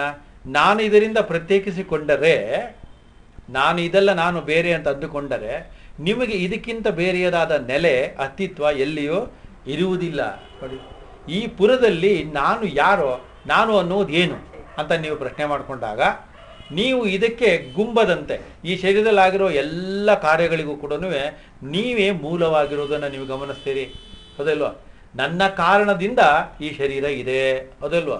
ನನ್ನ ಕಾರಣದಿಂದ ಶರೀರದಲ್ಲಿ ಎಲ್ಲವೂ ಕೆಲಸ ಮಾಡಿದೆ. ಕೆಲಸ ಇಂದ್ರಿಯಗಳೆಲ್ಲವೂ ಕೆಲಸ ಮಾಡುತ್ತೆ. ನನ್ನ ಕಾರಣದಿಂದ ರಕ್ತದ ಸಂಚಲನ ಇದೆ. ನನ್ನ ಕಾರಣದಿಂದ ಉಸಿರಾಟ ಇದೆ. ನನ್ನ ಕಾರಣ ನಿಮಿತ್ತ ಕಾರಣ ಹೇಳ್ತಾ ಇದ್ದೀನಿ ಈಗ. ನನ್ನ ಕಾರಣದಿಂದ ಆಹಾರವೆಲ್ಲವೂ ಪಚನವಾಗುತ್ತದೆ. ನನ್ನ ಕಾರ, ನನ್ನ ಕಾರಣದಿಂದ ಆರೋಗ್ಯ ಇದೆ. ನನ್ನ ಕಾರಣದಿಂದನೇ ರೋಗ ಇದೆ. ನನ್ನಿಂದ ನನ್ನ ಕಾರಣದಿಂದಲೇ ಹುಟ್ಟು ಸಾವುಗಳು ಇದೆ. ಗೊತ್ತಾನೆ? ಹಾಗಾದ್ರೆ ಇದೆಲ್ಲದಕ್ಕೂ ಕಾರಣ ಯಾರು? ನಾನು, ಹಾಗಾದ್ರೆ ನನ್ನಿಂದ ಇದೆಲ್ಲ ಆಗ್ತಾ ಇದೆ ಅಂದ್ರೆ ನಾನು ಈ ಶರೀರದಲ್ಲಿ ಕೇಂದ್ರವಾಗಿದ್ದೇನೆ. ಗೊತ್ತಾನೆ? I am the centre here ನನ್ನಿಂದ ನೋಡುವಾಗ ನಮಗೆ ಕಣ್ಣು ನೋಡಿತು ಯಾರಿಗಾಗಿ? ಕಿವಿ ನೋಡಿತು ಕಿವಿ ಕೇಳಿತು ಯಾರಿಗಾಗಿ? ಹೃದಯ ಬಡಿಯಿತು, ಯಾರಿಗಾಗಿ? ಅವನು ಯಾರವನು? ನಾನು ನಾನು ಅಂತೇನೋ ಹೇಳ್ಬಿಟ್ಟು ಇವಾಗ. ಗೊತ್ತಾನೆ? ನಾನು ಅದೇ ನಾನು ಸ್ವಾಮಿ ಅನ್ಬಿಟ್ಟು ನನಗೆ ಅದೇ ನಾನು ಅಂತ ಹೇಳುವಾಗ ಹೇಳಿಕೆಗಳು ಗೊತ್ತಾಗ್ತಾ ಇದೆ. ಆದರೆ ಅದೇ ನಾನು ಅನ್ನೋದಕ್ಕೆ ನನಗೆ ಏನು ಪ್ರಮಾಣ? ನಾನೇ ಪ್ರಮಾಣ. ಹಾಗಾದ್ರೆ ನಾನೇ ಪ್ರಮಾಣ ಅನ್ನುವಾಗ ಇದರೊಳಗೆ ನಾನೇನಾಗಿರಬೇಕು? ಆವಾಗ ನಾನು ಡಿವೈಡ್ ಮಾಡ್ಕೋಬೇಕು. ಈ ಶರೀರದಲ್ಲಿ ಎರಡು ನಾನುಗಳು ಇಲ್ಲಿ ಪ್ರತ್ಯಕ್ಷವಾಗಿ ನಮಗೆ ಗಮನಕ್ಕೆ ಬರುತ್ತೆ. ಒಂದು ನಮಗೆ ನಾನು ಅನ್ನುವುದಕ್ಕೆ ಪ್ರತ್ಯಕ್ಷವಾಗಿರುವ ಪ್ರಮಾಣ ಶರೀರ. ಇದನ್ನೇ ನಾನು ನಾನು ಅಂತ ಇರೋದು ನಾವೆಲ್ಲ. ಆದರೆ ಇದನ್ನು ನಾನು ಅಂತ ಹೇಳುವುದಕ್ಕೂ ಕಾರಣವಾಗಿರುವ, ಮೂಲವಾಗಿರುವ ಇನ್ನೊಂದು ಇದೆ, ಅದು ಚೈತನ್ಯ. ಈ ಶರೀರವು ಜಡ, ಅದು ಚೈತನ್ಯ. ಈಗ ನೋಡೋಣ. ನಿಜವಾದ, ಸತ್ಯವಾದ ನಾನು ಜಡವಾಗಿದ್ದರೆ ಜಡ ಅನ್ಕೊಂಬಿಡಿ ಒಂದು ನಿಮಿಷ. ಏನು ಮಣ ಆಗಿಲ್ಲ ಹೌದಲ್ವಾ? ಜಡ ಅಂದ್ರೆ ಏನರ್ಥ? ಅಚೇತನ. ಹೌದಲ್ವಾ? ಅಂದರೆ ಓನ್ಲಿ ಮೂರ್ತ ರೂಪ ಕಾಣತ್ತೆ ಬೊಂಬೆ ಬೇಕಾದಷ್ಟು ಬೊಂಬೆಗಳಿದೆ, ಇದೆಲ್ಲ ಇದೆ, ಇಲ್ಲೆಲ್ಲ ಇದೆಯಲ್ಲ? ಬೇಕಾದಷ್ಟು ಇದೆಲ್ಲ ಬೊಂಬೆಗಳೇ. ಈ ಬೊಂಬೆಗಳೆಲ್ಲವೂ ಕೂಡ ಮೂರ್ತವಾಗಿ ಕಾಣುತ್ತೆ. ಮಣ್ಣು ನೀರು ಬೆಂಕಿಯಿಂದ ಮಾಡಿದ್ದೇವೆ. ಅದರಿಂದ ಅದನ್ನು ನಮಗೆ ಅದು ಮೂರ್ತ ರೂಪದಲ್ಲಿ ಕಾಣುತ್ತೆ. ಆದರೆ ನಾನು ಇದರಲ್ಲಿ ಇರೋದ್ರಿಂದ ಚಲನ ವಲನಗಳಿದೆ. ನೋಡಿ, ಇದು ಬೆಳೆಯುತ್ತದೆ, ವರ್ಧಮಾನವಾಗುತ್ತದೆ, ಶೋಕಮೋಹಗಳ ಅನುಭವ ಉಂಟಾಗುತ್ತೆ. ಅದಲ್ವ ಬೇಕು ಬೇಡಗಳೆಲ್ಲ ತುಂಬಿದೆ, ಇದೆಲ್ಲವೂ ಎಲ್ಲಿ ತುಂಬಿದೆ, ಯಾರು ಇದಕ್ಕೆ ಕೇಂದ್ರ? ಅದು ನಾನು. ಆ ನಾನು ಅನ್ನತಕ್ಕಂಥದ್ದು ಈ ಮಾನವ ಶರೀರದಲ್ಲಿ ಜೀವವಾಗಿ, ಆ ಜೀವವು ಜ್ಞಾನವಾಗಿ, ಜ್ಞಾನವೇ ಸೂತ್ರವಾಗಿ ಈ ಶರೀರದಲ್ಲಿದೆ. ಇದನ್ನ ನಾನು ನಾನು ಅಂತ ನಿಜವಾಗ್ಲೂ ಅಂದ್ಕೊಂಡಿರೋದು. ವಾಸ್ತವದಲ್ಲಿ ನಾನು ಅನ್ನೋದು ಇರುವುದಿಲ್ಲ. ಯಾಕೆಂದರೆ ನಾನು ಅನ್ನುವುದಕ್ಕೆ ಪ್ರತ್ಯೇಕವಾದ ಅಸ್ತಿತ್ವ ಇರುವುದಿಲ್ಲ. ಈ ನಾನು ನಾನು ಅಂತ ಅಂತಿದಿಲ್ಲ ಈ ಚೇತನನ. ಸಕಲ ಚರಾಚರ ವಸ್ತುಗಳಲ್ಲೂ ವ್ಯಕ್ತವಾಗಿ ಅವ್ಯಕ್ತವಾಗಿ ಇದೆಯೋ ಇಲ್ವೋ? ಇದೆ ಅಂತ ಗೊತ್ತಾಗೋದು ಯಾರಿಗೆ? ಯಾರದು ನಾನು? ಯಾರದು? ಜ್ಞಾನ ಅಲ್ವೇ? ಪ್ರಜ್ಞೆ ಅಲ್ವೇ? ಸೊ ಅಲ್ಲಿಗೇನಾಯ್ತು ಇದನ್ನ ತಿಳಿದುಕೊಳ್ತಾನೆ ಅಂತ ನಾನು ಅಂತ ಇರೋ ಈ ನಾನು ಕೂಡ ಬೇರೆ ನಾನು ನಾನು ಅಂತ ಎಲ್ಲೆಲ್ಲಿದೆ ಅದಕ್ಕಿಂತ ಇದು ಭಿನ್ನವಾಗಿಲ್ಲ. ಹೌದಲ್ವಾ ಭಿನ್ನವಾಗಿ ಕಾಣುತ್ತಿರುವುದು ಸ್ಥೂಲದಿಂದ ಜಡವಾದ ಈ ಜಗತ್ತಿನಲ್ಲಿ ಮಾತ್ರ ನಾಮರೂಪಾತ್ಮಕವಾಗಿರೋದೇ ಹೊರತು ಅದರ ಇದೆಲ್ಲವೂ ಕೂಡ ಇದೆ. ಇವಾಗ ಆ ಪುಟ್ಟ ಮಗು ಕೂತಿದೆ. ಚಿಕ್ಕದು ಆತ್ಮ, ಇದು ಅಜ್ಜಿ ಆತ್ಮ, ಇದು ತಾತ ಆತ್ಮ ಅಂತ ಕರಿತೀರೇನು? ಇಲ್ಲ ಇಲ್ಲ. ತಾತ, ಅಜ್ಜಿ, ಮಗು, ಅಮ್ಮ ಅಂತ ಕರೀತಾರೆ. ಯಾವ್ದನ್ ಕುರಿತು? ಜಡವಾಗಿರುವ ಜಡಕ್ಕೆ ನಾಮರೂಪ, ಚೈತನ್ಯಕ್ಕೆ ನಾಮರೂಪ ಇರೋದಿಲ್ಲ ಅಲ್ಲೋ, ಅಲ್ವಾ? Energy cannot be produced energy cannot be destroyed ಅಂದಮೇಲೆ ಯಾವುದನ್ನು ಡಿಸ್ಟ್ರಾಯ್ ಮಾಡೋಕ್ಕಾಗಲ್ಲ, ಯಾವುದನ್ನು ನಾವು ಸೃಷ್ಟಿ ಮಾಡೋಕ್ಕಾಗಲ್ಲ ಅಂತ ಯಾವುದನ್ನು ಅಂತ ಇದೀವೋ ಅದಕ್ಕೆ ಹುಟ್ಟು ಸಾವುಗಳನ್ನು ಅಂಟಿಸಬಹುದಾ? ನೀವು ಹೇಳಬೇಕು ಉತ್ತರ. ಅದಕ್ಕೆ ದೇಹವನ್ನು ಕೊಡಬಹುದಾ? ಅದಕ್ಕೆ ದೇವರ ಸಮಾರಾಧನೆ, ವೈಕುಂಠ ಸಮಾರಾಧನೆ ಮಾಡಬಹುದಾ? ಇಲ್ಲ ತಾನೆ? ಆದ್ದರಿಂದ ಇದು ಅಬ್ಸಲ್ಯೂಟ್ಲಿ ಟ್ರೂತ್ ಅಂದರೆ ಇದು ಸತ್ಯಂ ಜ್ಞಾನಂ ಅನಂತಂ ಬ್ರಹ್ಮ ಅನ್ನೋದಕ್ಕೆ ಕ್ಲೂ ಅಲ್ಲ, ಇದು ಡಿಸಿಷನ್ ಅಥವಾ ಅರ್ಥ ಮಾಡ್ಕೊಳ್ಳಿ. ನಾನು ಈ ಶರೀರದಲ್ಲಿ ಚೈತನ್ಯವಾಗಿದ್ದೇನೆ, ನಾನು ಯಾವಾಗಲೂ ಇರುತ್ತೇನೆ, ನನ್ನದು ಅಂದುಕೊಂಡಿರುವ ಯಾವ್ಯಾವ್ದಿದೆಯೋ ಅದಕ್ಕೆ ಕಾಲದಿಂದ ಟೈಮ್ ಬೌಂಡ್ ಇದೆ ಅದಕ್ಕೆ. ಅದಲ್ವಾ ಯಾಕೆಂದರೆ the whole world is always govern by three things time space and character ಹಾಂ? ಹೌದಲ್ವ ಕಾಲ, ದೇಶ ಮತ್ತು ವಸ್ತು. ಕ್ಯಾರೆಕ್ಟರ್ ಅಂದರೆ ವಸ್ತು ಇಲ್ಲಿ. ವಸ್ತು ಅಂತ ಇಟ್ಕೊಳ್ಳಿ, ದೇಹ ಅಂತನಾರು ಇಟ್ಕೊಳ್ಳಿ. ಯಾವ್ದಾದ್ರು ತಗೊಳ್ಳಿ, ಗಿಡ ಮರಿ, ಬಳ್ಳಿಗಳು ಯಾವುದನ್ನು ತೊಗೊಂಡ್ರು ಕೂಡ ಒನ್ ಟೈಮಲ್ಲಿ ಬಾ ಇದ್ದಂತೆ ಬರುತ್ತೆ, ಕಾಣುತ್ತೆ ಇದ್ದಂತೆ ಕಾಣುತ್ತೆ, ನಾಶವಾದಂತೆ ಕಾಣುತ್ತೆ. ಅದಲ್ವಾ ಹಾಗಾದ್ರೆ ಈ ನಾನು ಅನ್ನೋದು ಎಲ್ಲ ಕಾಲದಲ್ಲೂ ಅದೇ ಸೃಷ್ಟಿಯ ಕಾಲದಲ್ಲಿ ಮೂರು ಕಾಲದಲ್ಲಿ ಬರದೇ ಇರಲ್ಲ, ಅದನ್ನು ಪ್ರಮಾಣ ಮಾಡಬೇಕಲ್ಲ. ಸೃಷ್ಟಿಯ ಕಾಲದಲ್ಲೂ, ಸ್ಥಿತಿಯ ಕಾಲದಲ್ಲೂ, ಲಯದ ಕಾಲದಲ್ಲೂ, ಎಲ್ಲ ಟೈಮಲ್ಲೂ ಇರುವುದು ಯಾವುದೋ? ಅದು ನಾನು ಅಂತ ನಂಗೆ ಗೊತ್ತಾಗಬೇಕಾದ್ರೆ, ನಾನೇನು ಮಾಡಬೇಕು? ಶರೀರದಿಂದ ಆಚೆ, ಶರೀರದಿಂದ ಈಚೆ ಓಡಾಡಬೇಕು ಅನ್ಸತಿ ಹೌದಲ್ವ? ನಿನ್ನೆ ಯಾರೋ ಕಳ್ಳ ಬಂದಿದ್ದಂತೆ, ಮನೆ ಸುತ್ತಲೂ ಅಂದ್ರೆ ಮಾಡ್ತೀರಿ. ಸುತ್ತಲೂ ಒಂದ್ಸಿ ನೋಡೋದು. ಅವನೇನು ಹೂವು ಕತ್ಕೊಂಡು ಹೋದ್ನೋ, ಇದು ಕಟ್ಕೊಂಡು ಹೋದ್ನೋ, ಯಜಮಾನ್ರನ್ನ ಹೊತ್ಕೊಂಡು ಹೋಗಿದಾನೋ ನೋಡ್ಬೇಕಾದ್ರೆ ನೀವು ಒಂದು ರೌಂಡ್ ಹೊಡಿಬೇಕಲ್ಲ ಇದು ಹಾಗೆ. ಈಗ ನಾವೇನು ಮಾಡೋಣ? ನಮಗೆ ಗೊತ್ತಿರೋ ಸ್ಥೂಲದಿಂದಲೇ ಸೂಕ್ಷ್ಮ ಕಡೆಗೆ ಹೋಗೋಣ. ಸೂಕ್ಷ್ಮದಿಂದ ಅತಿ ಸೂಕ್ಷ್ಮಕ್ಕೆ ಹೋಗಬೇಕಾದ ನೆಸಿಟಿ ಇಲ್ಲ. ಏಕೆಂದರೆ ಯಾವ ಯಾವ ನಮ್ಮ ಜ್ಞಾನದ ಸ್ಥಿತಿ ಹೇಗೆ ಹೇಗೆ ಇರುತ್ತದೆ, ಆ ಪರಮಾತ್ಮ, ಪರಬ್ರಹ್ಮ ವಸ್ತು ಎಂಬತಕ್ಕಂಥ ಸೂಜಿಗಲ್ಲು ಮ್ಯಾಗ್ನೆಟ್ ಏನಿದೆ ಅದು, ಒಂದು ಡಿಸ್ಟೆನ್ಸಲ್ಲಿ ಎಲ್ಲವನ್ನು ಡಿಸ್ಟೆನ್ಸಲ್ಲಿ ಇಟ್ಟು ಮಧ್ಯದಲ್ಲಿ ನಾವೇನಾದ್ರು ಮ್ಯಾಗ್ನೆಟ್ ಇಟ್ಟರೆ ಕೆಲವನ್ನ ಚಕ್ ಅಂತ ಹೇಳ್ಕೊಂಡ್ಬಿಡುತ್ತೆ. ಹೇಳ್ಕೊಂಡ್ಬಿಡುತ್ತಾ ಇಲ್ವಾ? ಕೆಲವನ್ನ ಸ್ವಲ್ಪ ದೂರ ಮೆಲ್ಲಗೆ ಮಾತ್ರ ಹೇಳ್ಕೊಳ್ಳುತ್ತೆ ಇನ್ನು ಕೆಲವನ್ನ ಹೇಳ್ಕೊಳ್ಳೋಕ್ಕೆ ಆಗಲ್ಲ. ಹೇಳ್ಕೊಳ್ಳೋಕ್ಕೆ ಆಗಲ್ಲ. ಅದಕ್ಕೆ ಇದತ್ರ ಹೋಗುವಂಥ ಶಕ್ತಿನೇ ಇರೋದಿಲ್ಲ. ಅದಕ್ಕೆ. ಅಂದರೆ ಅರ್ಥ? ಕಡಿಮೆ ಪ್ರಮಾಣದಲ್ಲಿ ಇರುತ್ತೆ ಅಂತ. ಅದಕ್ಕೋಸ್ಕರ ಈ ಪರಿಪೂರ್ಣವಾಗಿರ್ತಕ್ಕಂಥ ವೇದಾಂತ ವಿಜ್ಞಾನವನ್ನು ಅರಿಯೋದಕ್ಕೆ ಮಾನವ ಜೀವಿ ಮಾನವನ ಶರೀರದಲ್ಲಿ ಇರತಕ್ಕಂಥ ಜೀವಭಾವ, ಆ ಜ್ಞಾನ ಏನಿದೆ, ಅದರ ಎಷ್ಟು ಎಷ್ಟು ಭಾಗ ನಮಗೆ ಪರಿಪೂರ್ಣತೆ ಆಗುತ್ತೆ, ಅಷ್ಟು ಅಷ್ಟು ನಿಮ್ಮನ್ನು ನೀವು, ನಿಮ್ಮಿಂದಲೇ ನೀವೇ ಸೇರಿ ಬಿಡುವ, ಐಕ್ಯವಾಗುವ, ಮೋಕ್ಷ ಎಂದು ಗ್ರಂಥಗಳು ಕರೆಯುವ ಯಾವುದಿದೆ, ಅಲ್ಲಿಗೆ ತಲುಪೋದಕ್ಕೆ ಅಲ್ಲಿ ಮ್ಯಾಗ್ನೆಟಿಕ್ ಇದೆ, ಸೂಜಿಕಲ್ಲಿದು. ಅದರಿಂದ ಇಲ್ಲಿ ಹೇಳ್ತಾ ಇದ್ದಾರೆ, ಈಗ ನಾನು ನಮ್ಮ ಈ ಸ್ಥೂಲ ಶರೀರದಿಂದ ಸ್ವಲ್ಪ ಹಿಂದಕ್ಕೆ ಹೋಗೋಣ. ಈ ಸ್ಥೂಲ ಶರೀರವೇ ನಾನೆಂದುಕೊಂಡಾಗ, ಎರಡನ್ನು ವಿಭಜನೆ ಮಾಡ್ಕೊಂಡಿದ್ದೀವಲ್ಲ ಚೈತನ್ಯ ನಾನು ಅಂದ್ಕೊಂಡಿದ್ದೀವಿ ಐಡೆಂಟಿಫಿಕೇಶನ್ ಜಗತ್ತಿನಲ್ಲಿ ಶರೀರ. ನಾನು ಈ ಶರೀರವು ಮೊದಲು ಎಲ್ಲಿತ್ತು? ನೋಡಿದ್ರ? ಇವಾಗ ನಿಮ್ಗೊಂಥರ ಹೇಗೆ ಹೇಳೋದು? ಈ ಶರೀರವು ಮೊದಲು ಛಿದ್ರ ಛಿದ್ರವಾಗಿತ್ತು. ಛಿದ್ರ ಛಿದ್ರವಾಗಿದ್ದಾಗ ಏನಾಗಿತ್ತು? ಅಲ್ವಾ? ಪಂಚಭೂತಗಳ ಅಂಶದಿಂದ ತಾನೇ ಇದಾಗಿರೋದು. ಈ ಪಂಚಭೂತಗಳ ಸಮೀಕರಣ ಅಥವಾ ಇದರಿರ್ತಕ್ಕಂಥ ಆ ಎಂಟನೇ ಒಂದು ಭಾಗ ಏನು? ವೇಕ ಚೂಡಾಮಣಿಯಲ್ಲಿ ಪಾಠ ಆಗಿದೆ. ಅದು ಆ ಪಂಚೀಕರಣ ಎಲ್ಲಾಯಿತು. ಆ ಪಂಚೀಕರಣ ಅನ್ನೋದು ಎಲ್ಲಿ? ಯಾವ ಪ್ರಯೋಗಶಾಲೆಯಲ್ಲಿ? ಎಲ್ಲಾಯ್ತಪ್ಪ? ನಾವೆಲ್ಲ ಎಲ್ಲಿಂದ ಬಂದಿರೋದು? ತಾಯಿ ಗರ್ಭವೇ ಪ್ರಯೋಗಶಾಲೆ. ಅಲ್ಲಿ ಈ ಪಂಚೀಕರಣ ಆಯಿತು. ಈ ಪಂಚೀಕರಣ ತಾಯಿ ಗರ್ಭದಲ್ಲಿ ಹೇಗಾಯಿತು? ಏಕೆಂದರೆ ತಾಯಿ ಗರ್ಭದಲ್ಲಿ ಆಕೆ ತಿನ್ನುವ ಅನ್ನ ಆಕೆ ಉಸಿರಾಡತಕ್ಕಂಥದ್ದು ಗಾಳಿ ಹೌದು ಇಲ್ವಾ? ಅಲ್ಲಿರ್ತಕ್ಕಂಥ ರಕ್ತ ಮಾಂಸಗಳು ಬೇಚಿಗೆ ಎಲ್ಲವನ್ನ ಹಂಚಿಕೊಂಡು ಆಕೆ ತನ್ನನ್ನೇ ತಾನು ನಿಮಗೆ ಕೊಟ್ಟಿಕೊಂಡಳು, ತಾಯಿ. ಅವಳಿಗಿದೆಲ್ಲ ಎಲ್ಲಿಂದ ಬಂತು? ನೆಕ್ಸ್ಟ್ ಪ್ರಶ್ನೆ. ಅದಲ್ವಾ ನಮಗೊಂದು ಶರೀರ ಹಂಚ್ಬೇಕಾದ್ರೆ ಎಷ್ಟು ಕಷ್ಟಪಟ್ಟ್ಯಾರ ಅವರು? ಅಂತ ನಮಗಲ್ವಾ? ಪ್ರಕೃತಿಯಿಂದ ಆ ಇದ್ರೊಳಗೆ ಏನೇನು ಬಂದಿದೆ ಎಲ್ಲನೂ ಸೇರಿಸ್ಕೋಬೇಕು. ಹದಿನಾರು ಕಲೆ ಏನಿದೆ, ಹದಿನಾರು ಕಲೆಗಳು ಕೂಡ ತಂದೆಯ ವೀರ್ಯದಿಂದ. It comes from he strength to the womb of the mother ಅಲ್ಲಿ ಒಂದು ಶರೀರ ಆಯಿತು. ಸೊ ಅದನ್ನ ನಮಗೆ ಕೊಡುಗೆಯಾಗಿ ಕೊಟ್ಟರು ಅಂದ್ರೆ ಪ್ರಕೃತಿ ಪುರುಷ ಸಂಗಮದಿಂದ ಸೃಷ್ಟಿಯಾಯಿತು. ಯಾವುದು? ಈ ಜಡ ಶರೀರ. ಅರ್ಥ ಮಾಡ್ಕೊಳ್ಳಿ. ಹೌದಲ್ವಾ? ಸೊ ದಿಸ್ ಈಸ್ ಮಾರ್ಟಲ್ ಶರೀರ ಬಂತು, ಸ್ವಲ್ಪ ದಿವಸ ಇಲ್ಲಿರುತ್ತೆ, ಸ್ವಲ್ಪ ದಿವಸ ಹೊಟ್ಟೋಗುತ್ತೆ ಆದರೆ ಈ ಶರೀರದಲ್ಲಿ ನಾನಿದ್ದೀನಿ. ಹಾಗಾದರೆ ತಾಯಿ ಗರ್ಭದಲ್ಲಿ ಮೊದಲು ಶರೀರ ಬಂತೋ, ಮೊದಲು ನಾನು ಬಂದೇನೋ? ನಾನೇ ಇಲ್ಲದೆ ಇದ್ರಲ್ಲಿ ನನಗೆ ಶರೀರ ಹಾಕಬೇಕು. ನಿಧಾನಕ್ಕೆ ಪ್ರಯತ್ನ ಮಾಡಬೇಕು ಹಾಗಾದರೆ ತಾಯಿ ಗರ್ಭಕ್ಕೆ ನಾನು ಎಲ್ಲಿಂದಲೋ ಬಂದಿರಬೇಕು? ಎಲ್ಲಿಂದಲೋ ಅಂದ್ರೆ ಎಲ್ಲಿಂದ ಬಂದಿದ್ದೀನಿ? ಈ ಶರೀರ ಅಂತ ತಾಯಿ ಇಷ್ಟೇ ಗಾತ್ರ ತಾಯಿ ಗರ್ಭದಲ್ಲಿದ್ದರೆ ಅಮ್ಮ ಹೊಟ್ಟೋಗುತ್ತೆ ಹೊಟ್ಟೆ ಅಲ್ವಾ? ಅದರಿಂದ ನಾನೇನಾಗಿರ್ಬೇಕು? ಅತ್ಯಂತ ಸೂಕ್ಷ್ಮವಾಗಿರಬೇಕು. ಅತ್ಯಂತ ಸೂಕ್ಷ್ಮವಾದದ್ದರ ಬೆಳವಣಿಗೆಗೆ ಅವಕಾಶ ಇರತಕ್ಕಂಥ ಪ್ರಯೋಗಶಾಲೆಯೇ ತಾಯಿ ಗರ್ಭ. ಹಾಗಾದ್ರೆ ನಾ ತಾಯಿ ಗರ್ಭಕ್ಕೆ ಎಷ್ಟು ಸೂಕ್ಷ್ಮವಾಗಿ ತಂದೆಯ ಶಕ್ತಿಯ ಮೂಲಕ ವೀರ್ಯಾಣುಗಳ ಮೂಲಕ ಬಂದೆ ಎಂದರೆ, ಆ ವೀರ್ಯಾಣುವಿನಲ್ಲಿ ನಾನಿದ್ದೆ. ಹೌದಲ್ವಾ ಏನಾಗಿದ್ದೆ ನಾನು? I must be energy only ಹೌದಲ್ವಾ ಹಾಗಾದ್ರೆ ಆ ಅನ್ನತಕ್ಕಂಥದ್ದು ಯಾವುದು ಬಂತೋ ಆಹಾರದ ಮೂಲಕ ತಂದೆಗೆ, ತಂದೆಯ ಮೂಲಕ ತಾಯಿಗೆ, ತಾಯಿಯಲ್ಲಿ ನನಗೆ ಒಂದು ಶರೀರ ಸೃಷ್ಟಿ ಆಯಿತು. ಹಾಗಾದ್ರೆ ಅದಕ್ಕೂ ಮೊದಲು ನಾನಿದ್ದದ್ದು ಯಾವ ರೂಪದಲ್ಲಿ? ಎನರ್ಜಿ ಶಕ್ತಿ ರೂಪದಲ್ಲಿ. ಹೌದಾ? ಚೈತನ್ಯ ರೂಪದಲ್ಲಿ ಇದ್ದೆ. ಅಂಶ ರೂಪದಲ್ಲಿದ್ದೆ. ಈಗ ನಮಗೆ ಸಿಕ್ತು. ದೊಡ್ಡದಾಗೋಯ್ತು ಶರೀರ. ಅಂತ ಅರ್ಥ ಏನಾಯ್ತು ಇವಾಗ?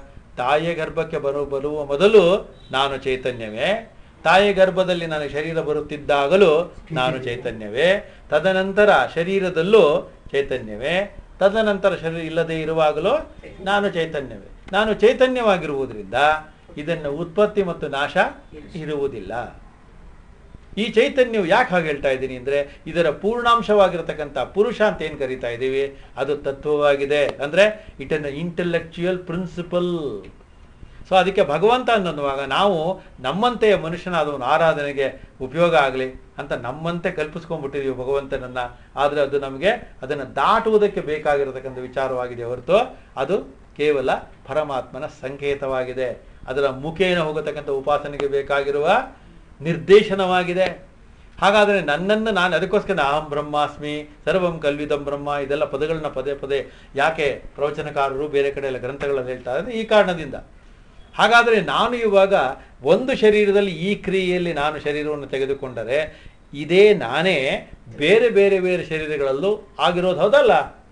ಹ? ಹಾಗಾದ್ರೆ ಏನಾಯ್ತು ಇವಾಗ? ನಾನು ಮಾರ್ಟಲ್ಲೋ ಇಮ್ಮಾರ್ಟಲ್ಲೋ? ಹೌದಾ? ಆದ್ದರಿಂದ ಇಲ್ಲಿ ಹೇಳ್ತಾ ಇದ್ದಾರೆ ಇವನನ್ನ ವೇದ್ಯವಾಗಿರುವ ತಿಳಿದುಕೊಳ್ಳಬೇಕಾದ ವೇದದಲ್ಲಿ ಉಕ್ತವಾಗಿರುವ ವೇದ ಪುರುಷನಾಗಿರುವ ಪರಮಾತ್ಮನಾಗಿರುವ ಭಗವಂತನಾಗಿರುವ ಪರಬ್ರಹ್ಮವೇ ಆಗಿರುವ ಈ ತತ್ವವನ್ನ ಯಥಾರ್ಥವಾಗಿ ಹಾಗೆಯೇ ತಿಳಿದುಕೊಂಡರೆ ಏನಾಗುತ್ತೆ ಕಲೆಗಳಿಗೆ ಆತ್ಮನಾಗಿರುವ ಹ್ಮ್. ವೇದ್ಯನಾದ. ಅರಿಯಲ್ಪಡಬೇಕಾಗಿರುವ ಈ ಪುರುಷ ಆ ಪುರುಷನನ್ನು ಹ್ಮ್ ಪೂರ್ಣನಾಗಿರುವುದರಿಂದ ಅವನು ಶರೀರದಲ್ಲಿ ಇದ್ದುಕೊಂಡಿರುವುದರಿಂದ. ಶರೀರದಲ್ಲಿ ಇದ್ದುಕೊಂಡಿರುವುದರಿಂದ ಅಂದ ಅರ್ಥ ಏನು? ಪಿಂಡಾಂಡ ಬ್ರಹ್ಮಾಂಡಗಳು ಎರಡು ಶರೀರನೇ. ಅದಲ್ವಾ ಅಂದ್ರೆ ಅರ್ಥ ಏನಾಯ್ತು? ವ್ಯಷ್ಟಿಯಲ್ಲಿ ಇದನ್ನ ಆತ್ಮ ಎಂದು ಸಮಷ್ಟಿಯಲ್ಲಿ ಇದನ್ನ ಬ್ರಹ್ಮ ಎಂದು ಪರಬ್ರಹ್ಮ ಎಂದು ಹೇಳ್ತಾರೆ. ಅದಲ್ವಾ ಇದೆರಡರಲ್ಲೂ ಪರಿಪೂರ್ಣವಾಗಿರತಕ್ಕಂಥದ್ದು ಯಾವುದೋ? ಆ, ಪುರುಷ. ಅದಲ್ವಾ ಆ ಪುರುಷನನ್ನು ಪರಬ್ರಹ್ಮ ಅಂತ ಹೇಳಿರೋದು. ಹಾಗಿರುವಾಗ ಇದೇನಾಗುತ್ತೆ? ಪೂರ್ತಿ ಎನರ್ಜಿನೇ ಆಗಿರೋದ್ರಿಂದ, ಎಲ್ಲ ಕಡೆಯೂ ಯಾವಾಗಲೂ ಇರೋದ್ರಿಂದ, ಒಂದೇ ತರಹ ಇದಿರುವುದರಿಂದ ಇದಕ್ಕೆ ಹೊರಗಡೆ ಇರತಕ್ಕಂಥ ನಾಮರೂಪಗಳು ಯಾವುದೋ ಹೊಂದುವುದಿಲ್ಲ. ಅಂದ ಅರ್ಥ ಏನು? ಇದು ಬೇರೆ ಬೇರೆ ಬೇರೆ ಆದಂತೆ ಕಾಣುತ್ತಿರುವುದರಿಂದ, ವ್ಯಾವಹಾರಿಕ ದೃಷ್ಟಿಯಿಂದ ಅದಕ್ಕೆ ಬೇರೆ ಬೇರೆ ಬೇರೆ ನಾಮರೂಪಗಳು ಹೇಳಿದ್ದೇವೆ ಹೊರತು ವಾಸ್ತವದಲ್ಲಿ ಇದು ಏಕವಾಗಿದೆ. ನಾನತ್ವದಲ್ಲಿರುವುದೆಲ್ಲವೂ ಏಕವಾಗಿದೆ. ಸೊ ನಾನತ್ವದಲ್ಲಿ ಏಕತ್ವವನ್ನು ಕಂಡುಕೊಳ್ಳತಕ್ಕಂಥ ಯಾರು ಇದನ್ನು ಹಾಗೆಯೇ ಯಥಾರ್ಥವಾಗಿ ತಿಳಿದುಕೊಳ್ಳುತ್ತಾರೋ ಅವರಿಗೆ ಶರೀರದಲ್ಲಿ ಇಟ್ಟುಕೊಂಡಿರುವುದರಿಂದ ಪುರುಷ ನೆನೆಸಿಕೊಂಡಿರುವ ಆತ್ಮನನ್ನು ತಿಳಿಯಬೇಕು ಆಯ್ತು ತಿಳ್ಕೊಳ್ಳಬೇಕು ಆಯ್ತು ಅರ್ತ್ಕೊಂಡ್ವಿ ತಿಳ್ಕೊಂಡ್ವಿ ಆಮೇಲೆ. ಎಲೆ ಶಿಷ್ಯರೇ ಹಾಗಾದರೆ ಮೃತ್ಯು ನಿಮ್ಮನ್ನು ವ್ಯಥೆಗೊಳಿಸದೇ ಇದ್ದೀತು. ಹೀಗೆ ನಿಮ್ಮನ್ನು ನೀವು ತಿಳಿದುಕೊಂಡರೆ ಮೃತ್ಯು ನಿಮಗೆ ವ್ಯಥೆಗೊಳಿಸದೆ. ವ್ಯಥೆಗೊಳಿಸ ಮೃತ್ಯು ಅಂದ್ರೆ ಇಲ್ಲಿ ಕೇವಲ ನಮ್ಮ ಶರೀರ ಅಂತ ತಿಳ್ಕೊಬೇಡಿ. ಫಾರ್ ಯುವರ್ ಇನ್ಫಾರ್ಮೇಶನ್ ನಮ್ಮ ಮೃತ್ಯು ಆದಾಗ ನಮ್ಗೆ ವ್ಯಥೆ ಇರಲ್ಲ. ಯಾಕಿರಲ್ಲ ನಾನು ಅಂದುಕೊಂಡ ನನ್ನ ಶರೀರ ಇರುವಲ್ಲ. ಬೇರೆಯವ್ರು ತಾನೆ, ಓ ಊಟ್ಯಾ ಓ ಬುಟ್ಯಾ ನೀನು ಇರ್ಬೇಕಾಯ್ತು, ನಿನ್ ಇನ್ಶೂರೆನ್ಸ್ ಏನಾಯ್ತು, ಏನ್ ಕತೆ ಇದೆಲ್ಲ ಹೇಳೋದು ಯಾರು? ಇರೋರಲ್ವೇ? ಅದರಿಂದ ಇಲ್ಲಿ ಇರುವಾಗಲೇ ನಮಗೆ ಮೃತ್ಯುವಿನ ಭಯ ಇಲ್ಲದೇ ಇರುವಂತೆ ಅನ್ನೋದು ಇದರ ಅರ್ಥ. ಮೃತ್ಯುವಿನ ನಿಮಗೆ ವ್ಯಥೆಗೊಳಿಸುವುದಿಲ್ಲ ಅಂತ ಅರ್ಥ. ನನ್ನ ಮೃತ್ಯು ನನಗೆ ವ್ಯಥೆಗೊಳಿಸುವುದಿಲ್ಲ ಅನ್ನೋದು ಲೌಕಿಕವಾಗಿರುವ ಅರ್ಥ ಅದಕ್ಕೆ ಪಾರಮಾರ್ಥಿಕವಾಗಿ ಹೇಳಬೇಕಾದಿಲ್ಲ ಹೌದಲ್ವಾ? ನನ್ನ ಮೃತ್ಯುವು ನನಗೆ ವ್ಯಥೆಗೊಳಿಸುವುದಿಲ್ಲ. ಹಾಗಾದರೆ ನನ್ನ ಮೃತ್ಯುವಿಗೆ ನನ್ನನ್ನು ಹೆದರಿಸಬೇಕಾದರೆ ನನಗೆ ವ್ಯಥೆಗೊಳಿಸಬೇಕಾದ್ರೆ ಯಾವಾಗ? ಇರುವಾಗ ಇರುವಾಗಲೇ. ನನ್ನ ಸಾವನ್ನು ನೆನೆದು ನಾನು ಅಳಿಯೋ ಅಳೆಯುತ್ತಿರುವುದಾದರೆ ಕಾರಣ ಏನು? ನಾನು ಯಾರು ಅಂತ ನನಗೆ ಗೊತ್ತಲ್ಲದೇ ಇರುವ ಏಕೈಕ ಕಾರಣದಿಂದ. ದೇಹದ ಮೇಲಿನ ಮೋಹದಿಂದ ಅಥವಾ ನಮಗೆ ಅಜ್ಞಾನದಿಂದ. ಮೋಹದಿಂದ ಜನ್ಯವಾದದ್ದು ಅಜ್ಞಾನ. ಅಜ್ಞಾನ ಯಾವುದು? ಈ ಶರೀರವನ್ನೇ ನಾನು ನಾನು ಅಂತ ಅಂದುಕೊಂಡಿರೋದು, ನಂಬ್ಕೊಂಡಿರೋದು, ಬೇರೆ ಯಾರು ಹೇಳಿದ್ರು ಕೇಳಲ್ಲ ಅನ್ನೋದು. ಇಷ್ಟಿರುತ್ತೆ. ಅದರಿಂದ ಇದು ಮೋಹಜನ್ಯವಾದದ್ದು ಅಜ್ಞಾನ. ಏನು ತಲೆ ಚಚ್ಕೊಂಡ್ರು, ಏನು ಮಾಡಿದ್ರು? ಈ ಉಪನಿಷತ್ತು ನಿಂಗೆ ಹತ್ತು ಉಪನಿಷತ್ತು ಆದ್ಮೇಲೂ ನಾನು ಕೇಳಿದ್ರೆ ನೀವು ಬೇಕಾದ್ರೆ ಅದೇ ಥರನೇ ಹೇಳ್ತೀನಿ. ಯಾಕೆಂದ್ರೆ ಈ ಕೋಲ್ ಇದೆಯಲ್ಲ ಅದು ಹಾಗೆ ಮಾಡ್ತದೆ ಅಲ್ಲೋ ಇಲ್ವಾ? ಯಯಾಮಾಯ ಜಗತ್ ಸರ್ವಮಿದಂ ಪ್ರಸೂಯತೆ. ಎಷ್ಟೇ ನೀವು ಮಾಡಿದ್ರು ಏನೇ ಮಾಡಿದ್ರು ಕೂಡ ಇದು ಬಿಡೋದಿಲ್ಲ. ಅದಲ್ವಾ ಅದರಿಂದ ನಮಗೆ ನಿತ್ಯ ಎಚ್ಚರ, ವಿವೇಕ ಗಿವೇಕ ಅಂತ ಯಾಕೆ ಇದೆಲ್ಲ ಮಾಡಿರಿ? ಇಷ್ಟೊಂದೆಲ್ಲ ಗುರುಗಳೆಲ್ಲ ಹೇಳಿ, ಒದ್ದಾಡಿ, ಅಲ್ವಾ? ಸಿಡಿ ಮಾಡಿ, ಇದು ಮಾಡಿ, ಗಟ್ ಮಾಡಿಕೊಂಡು, ಇವತ್ತು ಮಧ್ಯಾಹ್ನ ಎಲ್ಲ ಒದ್ದಾಡಿ. ಇದೆಲ್ಲ ಏನಕ್ಕೆ? ಏನನ್ನು ಪ್ರೂವ್ ಮಾಡೋದಕ್ಕೆ? ವಾಟ್ ಫಾರ್ ಅಂತ ಕೇಳುತ್ತೆ. ಸೊ ಸಕಲ ಚರಾಚರ ವಸ್ತುಗಳು, ಜೀವ ಜಂತುಗಳು, ಇರತಕ್ಕಂಥ ಚರ ಅಚರ ವಸ್ತುಗಳು, ಸ್ಥಾವರ ಜಂಗಮಗಳು, ಇದೆಲ್ಲ ಎಲ್ಲ ಇರತಕ್ಕಂಥದ್ದು ನಾನೇ. ನಾನು ಏನಾಗಿದ್ದೀನಿ? ಕೆಲವುದರಲ್ಲಿ ವ್ಯಕ್ತವಾಗಿದ್ದೇನೆ ಕೆಲವುದರಲ್ಲಿ ಅವ್ಯಕ್ತವಾಗಿದ್ದೇನೆ. ವ್ಯಕ್ತವಾಗುವುದರಲ್ಲೂ ಒಂದೊಂದರಲ್ಲೂ ಒಂದು ಥರ ಇದ್ದಾನೆ. ಭಗವದ್ಗೀತೆಯಲ್ಲಿ ಇದೆಲ್ಲ ಬರುತ್ತೆ. ಅದಲ್ಲೋ ಒಂದೊಂದರಲ್ಲಿ ಒಂದೊಂದು ಥರ ನಾನು ಪ್ರ ವ್ಯಕ್ತವಾಗುತ್ತೇನೆ, ಪ್ರಕಟವಾಗುತ್ತೇನೆ. ಹೇಗೆ? ಸ್ಥೂಲದಲ್ಲಿ ನೀವು ನೋಡಿಕೊಂಡ್ರೆ ನಿಮಗೆ ಗೊತ್ತಾಗತ್ತೆ. ಹೌದಾ? ಗಾರೆಯ ಗೋಡೆಯಲ್ಲಿ ನನ್ನ ಮುಖ ಅಸ್ಪಷ್ಟವಾಗಿ ಕಾಣುತ್ತೆ. ಹೌದಲ್ವ ಬಿಸಿಲಿನ, ಬಿಸಿಲು ಬಿದ್ದಾಗ ನನ್ನ ಶರೀರದ ನೆರಳುಗಳಲ್ಲಿ ಅಸ್ಪಷ್ಟವಾಗಿ ನನಗೆ ಇದು ನಾನು ಗೊತ್ತಾಗುತ್ತೆ. ಹೌದಲ್ವಾ ನೀವು ಕಡೆ ನಿಂತ್ಕೊಂಡು ನಿಮಗೆ ಗೊತ್ತಾಗದಂತೆ ಯಾರಾದ್ರು ಬೆಳಕು ಬಿಟ್ಟು ನಿಮ್ಮ ಬೆಳೆ, ನಿಮ್ಮ ನೆರಳಿನ ನಿಮಗೆ ಅಯ್ಯೋ ಯಾವುದೋ ಭೂತ ಅಂತ ಬೇಕಾದ್ರೆ ಹೆದರ್ಕೋಬೋದು. ನಾನೇ ಅದನ್ನು ಗೊತ್ತಾಗೋವರೆಗೂ ಭಯ ಆಗೇ ಆಗತ್ತಲ್ಲ? ಆಗಲ್ವಾ ಆ? ಅಥವಾ ಬೇರೆ ನೋಡು ಭಯ ಪಟ್ಕೋಬೋದು. ಕಿವಿ, ಮೂಗು ಏನಿಲ್ಲ ಅದಕ್ಕೆ, ನೆರಳು. ಹೌದಾ? ನೆಲದಲ್ಲಿ ಕಾಣೋದೇ ಇಲ್ಲ. ನೀರಿನಲ್ಲಿ ನೋಡಿಕೊಂಡರೆ ಮಖ ಕಾಣುತ್ತದೆ ಸ್ಪಷ್ಟವಾಗಿ. ಆದರೆ ಅಲೆಗಳಿರುವುದರಿಂದ ಅಲ್ಲಾಡುವುದರಿಂದ ಅಷ್ಟೊಂದು ಸ್ಪಷ್ಟವಾಗಿ ಕಾಣುವುದಿಲ್ಲ, ಬದಲಾಗುತ್ತದೆ. ಆದರೆ ಕನ್ನಡಿಯಲ್ಲಿ ಸ್ಪಷ್ಟವಾಗಿ ಕಾಣುತ್ತೆ. ಹಾಗೆಯೇ ಆ ಬೇರೆ ಏನಾದ್ರು ನೋಡಿ, ನೀರಿನಲ್ಲಿ, ಮಣ್ಣಿನಲ್ಲಿ, ಇದರಲ್ಲಿ ಎಲ್ಲ ನೋಡ್ಕೊಂಡ್ಬಂದು ಆಮೇಲೆ ಪಕ್ಷಿಗಳಲ್ಲಿ, ಪ್ರಾಣಿಗಳಲ್ಲಿ ಇದು ನಾನು ಹೆಚ್ಚಿಗೆ ಎಲ್ಲೂ ಪ್ರಕಟವಾಗೋದಿಲ್ಲ. ಅರ್ಜುನ, ಮಾನವನ ಶರೀರದಲ್ಲಿ ಹೆಚ್ಚು ಪ್ರಕಟವಾಗ್ತಾನೆ. ಹೆಚ್ಚು ಪ್ರಕಟವಾಗ್ತೇನೆ ಅರ್ಥ ಏನು? ಹೆಚ್ಚು ಪ್ರಕಟವಾದದ್ದರ ದ್ಯೋತಕವಾಗಿ ನಮಗೆ ಪ್ರಮಾಣ ಏನು ಅಂತಂದ್ರೆ man can talk and think ಓಜಸ್ಸು ತೇಜಸ್ಸು ಇರುವುದರಿಂದ. ಅದನ್ನ ಪ್ರಮಾಣ ಇಟ್ಕೊಂಡ ನಿಮ್ಗೆ ಏನಿಸುತ್ತೆ? ಆ ತತ್ವವು ಪರತತ್ವವು ಎಲ್ಲ ಶರೀರಗಳಿಗಿಂತ ಹೆಚ್ಚಾಗಿ ಪ್ರಕಟವಾಗ್ತಿದೆ ಈ ಮಾನವ ಶರೀರದಲ್ಲಿ. ನಾನು ಮಾನವ. ಇಲ್ಲಿ ಪ್ರಕಟವಾಗುವಾಗ ಏನಾಗಿ ಪ್ರಕಟವಾಗುತ್ತೆ? ಜ್ಞಾನ ತಾನೆ. ಎಲ್ಲದಕ್ಕಿಂತಲೂ ಜ್ಞಾನವೇ ಹೆಚ್ಚು ಪ್ರಕಾಶ ತಾನೆ. ನಹಿ ಜ್ಞಾನೇನ ಸದೃಶಂ ಪವಿತ್ರ ಇಹ ವಿದ್ಯತೆ. ಪ್ರೂಫ್ ಅದಕ್ಕೆ ಪ್ರಮಾಣ. ಅದರಿಂದ ಇಲ್ಲಿ ಶಂಕರ ಭಗವತ್ಪಾದರು ಹೇಳ್ತಾ ಇದ್ದಾರೆ, ಇದನ್ನ ನಾವು ಸರಿಯಾದ ರೀತಿಯಲ್ಲಿ ಅರ್ಥ ಮಾಡ್ಕೊಳ್ಬೇಕು, ಇದನ್ನ ವೇದ್ಯವನ್ನು ತಿಳ್ಕೊಳ್ಬೇಕು, ಎಲ್ಲದರಲ್ಲೂ ಇರತಕ್ಕಂಥ ಪರಮ ಚೈತನ್ಯವು ಒಂದೇನೆ, ಒಳಗೋ ಹೊರಗೋ ಅದೇ ಇರೋದು. ಆದ್ದರಿಂದ ಅದನ್ನು ಬಿಟ್ಟು ಬೇರೆ ಏನೋ ಇರುವುದಿಲ್ಲ. ಇದಕ್ಕೆ ಉದಾಹರಣೆ, ನಾವು ಒಂದು ಹೋದ್ವಾರ ಸಮುದ್ರದ ನೋಡಿದ್ವಿ, ಹೌದಲ್ವಾ? ಈ ಸತಿ ಗಾಲಿ ಚಕ್ರದ ನೋಡಿದ್ವಿ.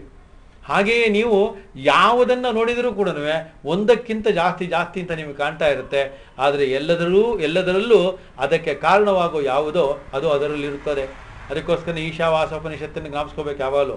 ಸೂರ್ಯನಲ್ಲಿರತಕ್ಕಂಥ ಯಾವ ತೇಜಸ್ಸು ಓಜಸ್ ಇದೆಯೋ ಅದು ನನ್ನಲ್ಲಿ ಆತ್ಮವಾಗಿದೆ. ಅದು ಪರಬ್ರಹ್ಮ ವಸ್ತು ಆದ್ದರಿಂದ ಸೂರ್ಯನಿಗೂ ನಾಮಕರಣ ಮಾಡಿರ್ತಕ್ಕಂಥ ನಾನು, ಸೂರ್ಯನ ಕರೆದಿರೋದು ಯಾರು?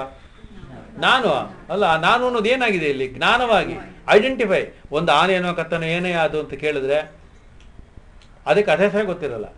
ಗೊತ್ತಿರುತ್ತಾ? ಇಲ್ಲ. ಯಾವಾಗಲೂ ನೋಡಿ, ಅತ್ತೆಯೂ ಸೊಸೆಯೂ ಒಟ್ಟಿಗೆ ಹುಟ್ಟಿದರು? ಅದೇ ಒಟ್ಟಿಗೆ ಹುಟ್ಟಿದ್ರು? ಸೊಸೆ ಮನೆಗೆ ಬಂದು, ಸೊಸೆ ಬಂದ ತಕ್ಷಣನೇ ಈಕೆ ಅತ್ತೆ ಆದರು. ಹುಟ್ಟೋದು ಅಂದ್ರೆ ಬೇರೆ ಏನೋ ಆಗಬೇಕು ಅಂತ ಏನಿಲ್ಲ. ಹೌದಲ್ವಾ ತಂದೆಯೋ ಮಗನೂ ಒಟ್ಟಿಗೆ ಹುಟ್ಟಿದರು. ಇದೆಲ್ಲ ವೇದಾಂತದಲ್ಲಿ ಪರಿಭಾಷೆ ಅರ್ಥ ಮಾಡ್ಕೋಬೇಕಾದ್ರೆ ಇದೆ ತಂದೆಯೋ ಮಗನು ಒಟ್ಟಿಗೆ ಹುಟ್ಟಿದರು ಅಂದ್ರೆ ಕಾನ್ಸೆಪ್ಟ್ ಅದು. ಹೊತ್ತಾನೆ, ತಂದೆ ಅನ್ನುವುದು ಅವನಿಗೇನು ಪಟ್ಟ ಇದೆ. ಮಗ ಅನ್ನೋದು ಡೆಲಿವರಿ ಆಯ್ತಂತೆ ಅಂದ್ರೆ ಏನಪ್ಪ ಕಂಗ್ರಾಚುಲೇಷನ್ ಯಾವ ಬಿಕಮ್ ಫಾದರ್ ಅಂತಾರಲ್ಲ. ಏನು ಫಾದರ್ ಬಿಕಮ್ ಬಂದ್ರೆ ಮತ್ತೇನಾಗಿದೆ ಸಿಟ್ಕೊಳ್ಳಾಗಿಲ್ಲ ಹೌದಲ್ವಾ ಅಂದ್ರೆ ಇದ್ದದ್ದೇ ಅದು, ಒಂದಿದ್ದದ್ದು ಎರಡಾದಂತೆ, ಹೌದಾ? ಆದ್ರೆ ವಾಸ್ತವದಲ್ಲಿ ತಂದೆ ಆಗೋದು, ಮಗು ಆಗೋದು ಅಂದೇನು ಅರ್ಥ? ಅರ್ಥ ಏನಿಲ್ಲ. ಅದು ನಾವು ಅರ್ಥ ಏನು ಕೊಡ್ತೀವಿ? ಅವನಿಂದ ಆದದನ್ನು ಇದನ್ನ ಮಗನೆಂದು, ಅದನ್ನ ಅಪ್ಪನೆಂದು ಕರೆದಿದ್ದೀವಿ ವ್ಯವಹಾರಕ್ಕೆ.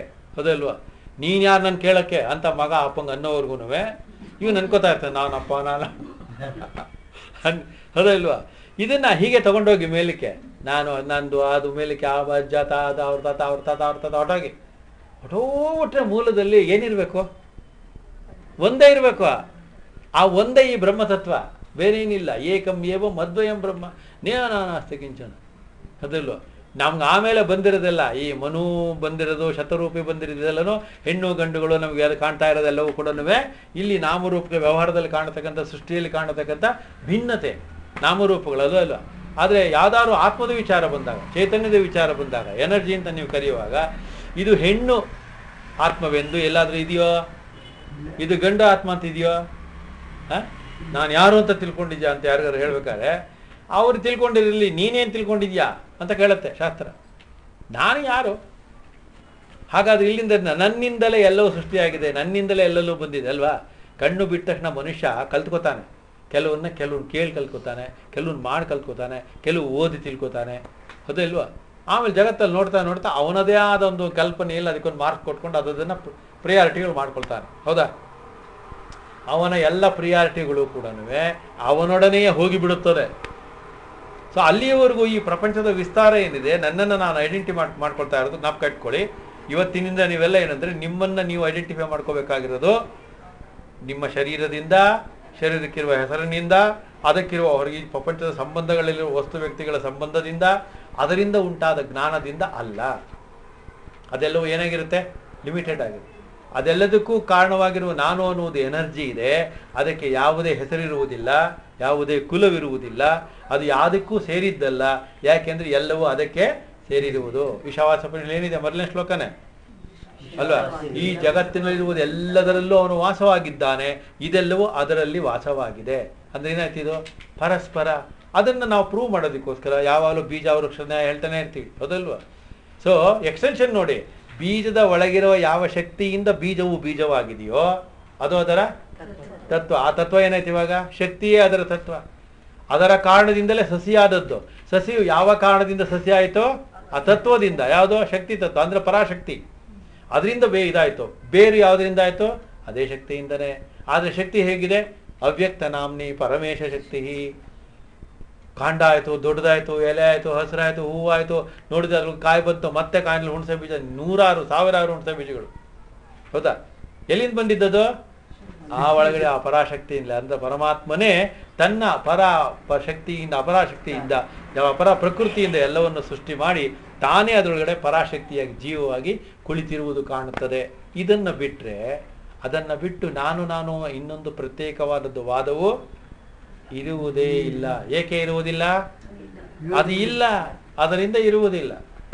ಯೋಚನೆ ಮಾಡಿ ನೋಡಿ. ಹ್ಮ್? ನಿಮ್ಮನ್ನ ಬಿಟ್ಟು ಶರೀರ ಇದೆಯೋ? ನಿಮ್ಮನ್ನ ಬಿಟ್ಟು ನಿಮ್ಮ ಸಂಸಾರ ಇದೆಯೋ?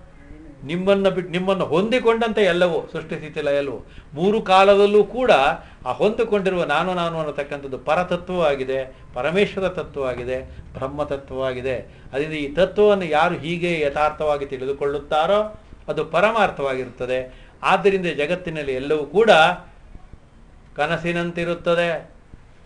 ಅಂದರೆ ಎಲ್ಲವೂ ಕೂಡ ಈ ಜಗತ್ತಲ್ಲಿ ಆಗೋದೆಲ್ಲವೂ ಕೂಡ ಆ ಪರಬ್ರಹ್ಮನ, ಪರಮಾತ್ಮನ ಕನಸೆಂದು, ಕನಸೇ ಎಂದು ನೀವು ಅಂದುಕೊಂಡಾಗ ಆತ್ಮವಾಗಿರೋ ನಿಮ್ಮಲ್ಲಿ ಆಗುವುದೆಲ್ಲವೂ ಕೂಡ ಒಂದು ದೃಶ್ಯ ಪ್ರಪಂಚ ಎಲ್ಲವೂ ಕೂಡ ಸ್ವಪ್ನ ಪ್ರಪಂಚವಾಗಿರುತ್ತದೆ. ಅಲ್ಲಿ ಯಾವುದೇ ಬದಲಾವಣೆ ಇರೋದಿಲ್ಲ, ಕಾಣುತ್ತದೆ.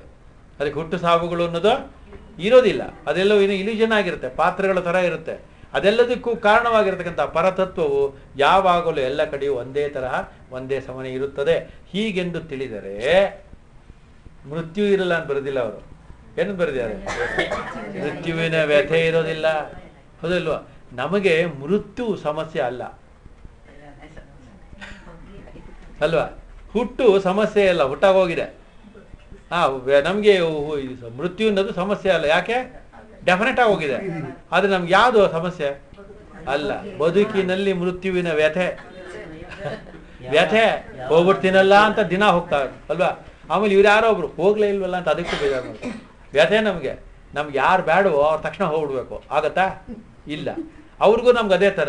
ನಾವು ಹೋಗ್ಲಿಂತ ಅವರು ಅವ್ರು ಹೋಗ್ಲಿಂದ ನಾನು. ಅಂತ ಇದ್ರೆ ಆಗತ್ತಾ? ಇಲ್ಲ. ಇದು ವ್ಯಥೆ. ವ್ಯಥೆ ಅಂದರೆ ಇರುವಾಗಲೇ ನಮ್ಮ ಇಂದ್ರಿಯಗಳಿಗೆ ಗೋಚರಕ್ಕೆ ಬರುವ ಏನದು? ಏನದು ಕರೆಕ್ಟ್ ಕೊರತೆ. ಒಂದು ಕೊರತೆ. ನಾನಿರಬೇಕು ಅಂತ ನನಗೆ ತುಂಬ ಆಸೆ. ನನಗೆ ಯಾರ್ಯಾರು ಬೇಡೋ ಅವರೆಲ್ಲ ಈಗಲೇ ಹೊಟ್ಟೋಗ್ಬಿಡ್ಲಿ ಯಾವ್ದಾದ್ರು ಒಂದು ಸೂಪರ್ ನೀವು ಯಾವುದೋ ಸಿನಿಮಾ ಗಿನ್ಮ ದೇವ್ರದಾಗಿರೋದು ಅದು ನೋಡಿದಾಗ ನಿಮಗೆ ಒಂದು ಕ್ಷಣ ಅನ್ನಿಸ್ಲಬಾರ್ದು ಒಂದು ಎರಡು ದಿವಸ ಈ ಪವರ್ ನನಗೆ ಕೊಟ್ಬಿಡ್ಲಿ. ವರ್ಲ್ಡನ್ನ ಏನು ಮಾಡ್ತೀನಿ ಗೊತ್ತಾ? ನನಗೇನೋ ಅನ್ಸುತ್ತೆ ಚಿಕ್ಕ ವಯಸ್ಸಲ್ಲಿ. ಸೂಪರ್ ಫಿಲ್ ಸೂಪರ್ ಮ್ಯಾನ್ ಅದು ಇದು ನೋಡಿದ್ರೆ ಏನನ್ಸುತ್ತೆ ಹುಡುಗರಿಗೆ? ನಂಗೆ ಏನಾರು ಸಿಕ್ಬಿಟ್ರೆ ಫಸ್ಟ್ ಐಡಿಯಾ ಏನು ಅಂದರೆ ನಂಗೆ ಯಾರ್ಯಾರು ಬೇಡೋ ಅವ್ರನ್ನ ಹೊಡೆದಾಕ್ಬಿಡೋಣ ಬಟ್ ಅದು ಅದೆಲ್ಲ ಆಗೋದಿಲ್ಲ, ಹೌದಲ್ವ? ಅರ್ಥ ಎಲ್ಲವೂ ಕಾಲದಿಂದ ಬದ್ಧವಾಗಿದೆ, ಕರ್ಮದಿಂದ ಬದ್ಧವಾಗಿದೆ. ಇದೆಲ್ಲವೂ ಕೂಡ ಅನೂಚಾನವಾಗಿ ಯಾವಾಗಲೂ ಇರತಕ್ಕಂಥ ಇದು ಭ್ರಾಂತಿಯೇ ಆಗಿರುತ್ತೆ. ಸೊ ಇಲ್ಲಿ ಕಾಮ್ಯ, ಅವಿದ್ಯ ಅನ್ನೋದು, ಕಾಮ್ಯ ಅನ್ನೋದು, ಕರ್ಮ ಅನ್ನೋದು ಯಾವಾಗಲೂ ಕೂಡ ಸಂಗಾತದಲ್ಲಿ ಕಾಣುತ್ತದೆ. ಇದೆಲ್ಲವೂ ಕೂಡ ಅತ್ಯಂತ ಸಹಜವಾಗಿ ತೆಗೆದುಕೊಳ್ಳತಕ್ಕಂಥ ಏನು ಸಾಮರ್ಥ್ಯ ನಿಮಗೆ ಬರುತ್ತೆ, ಇದನ್ನು ಹೀಗೆ ಯಥಾರ್ಥವಾಗಿ ತಿಳಿದುಕೊಂಡಾಗ ಇದರಲ್ಲಿ ನೋ ಕ್ವಶನ್ ಆಫ್ ಡೌಟ್ ಏನಾದ್ರು ಡೌಟ್ ಇದೆಯಾ? ಏನಿದೆಯೋ ಇಲ್ಲಿ ಏನಿದೆ ಅದನ್ನು ಹಾಗೆ ಚಿತ್ರಣ ಮಾಡಿ ಹೇಳ್ತಾ ಇರೋದು ಉಪನಿಷತ್ಕಾರರು. ಬೇರೆ ಏನು ಹೇಳ್ತಿಲ್ಲ.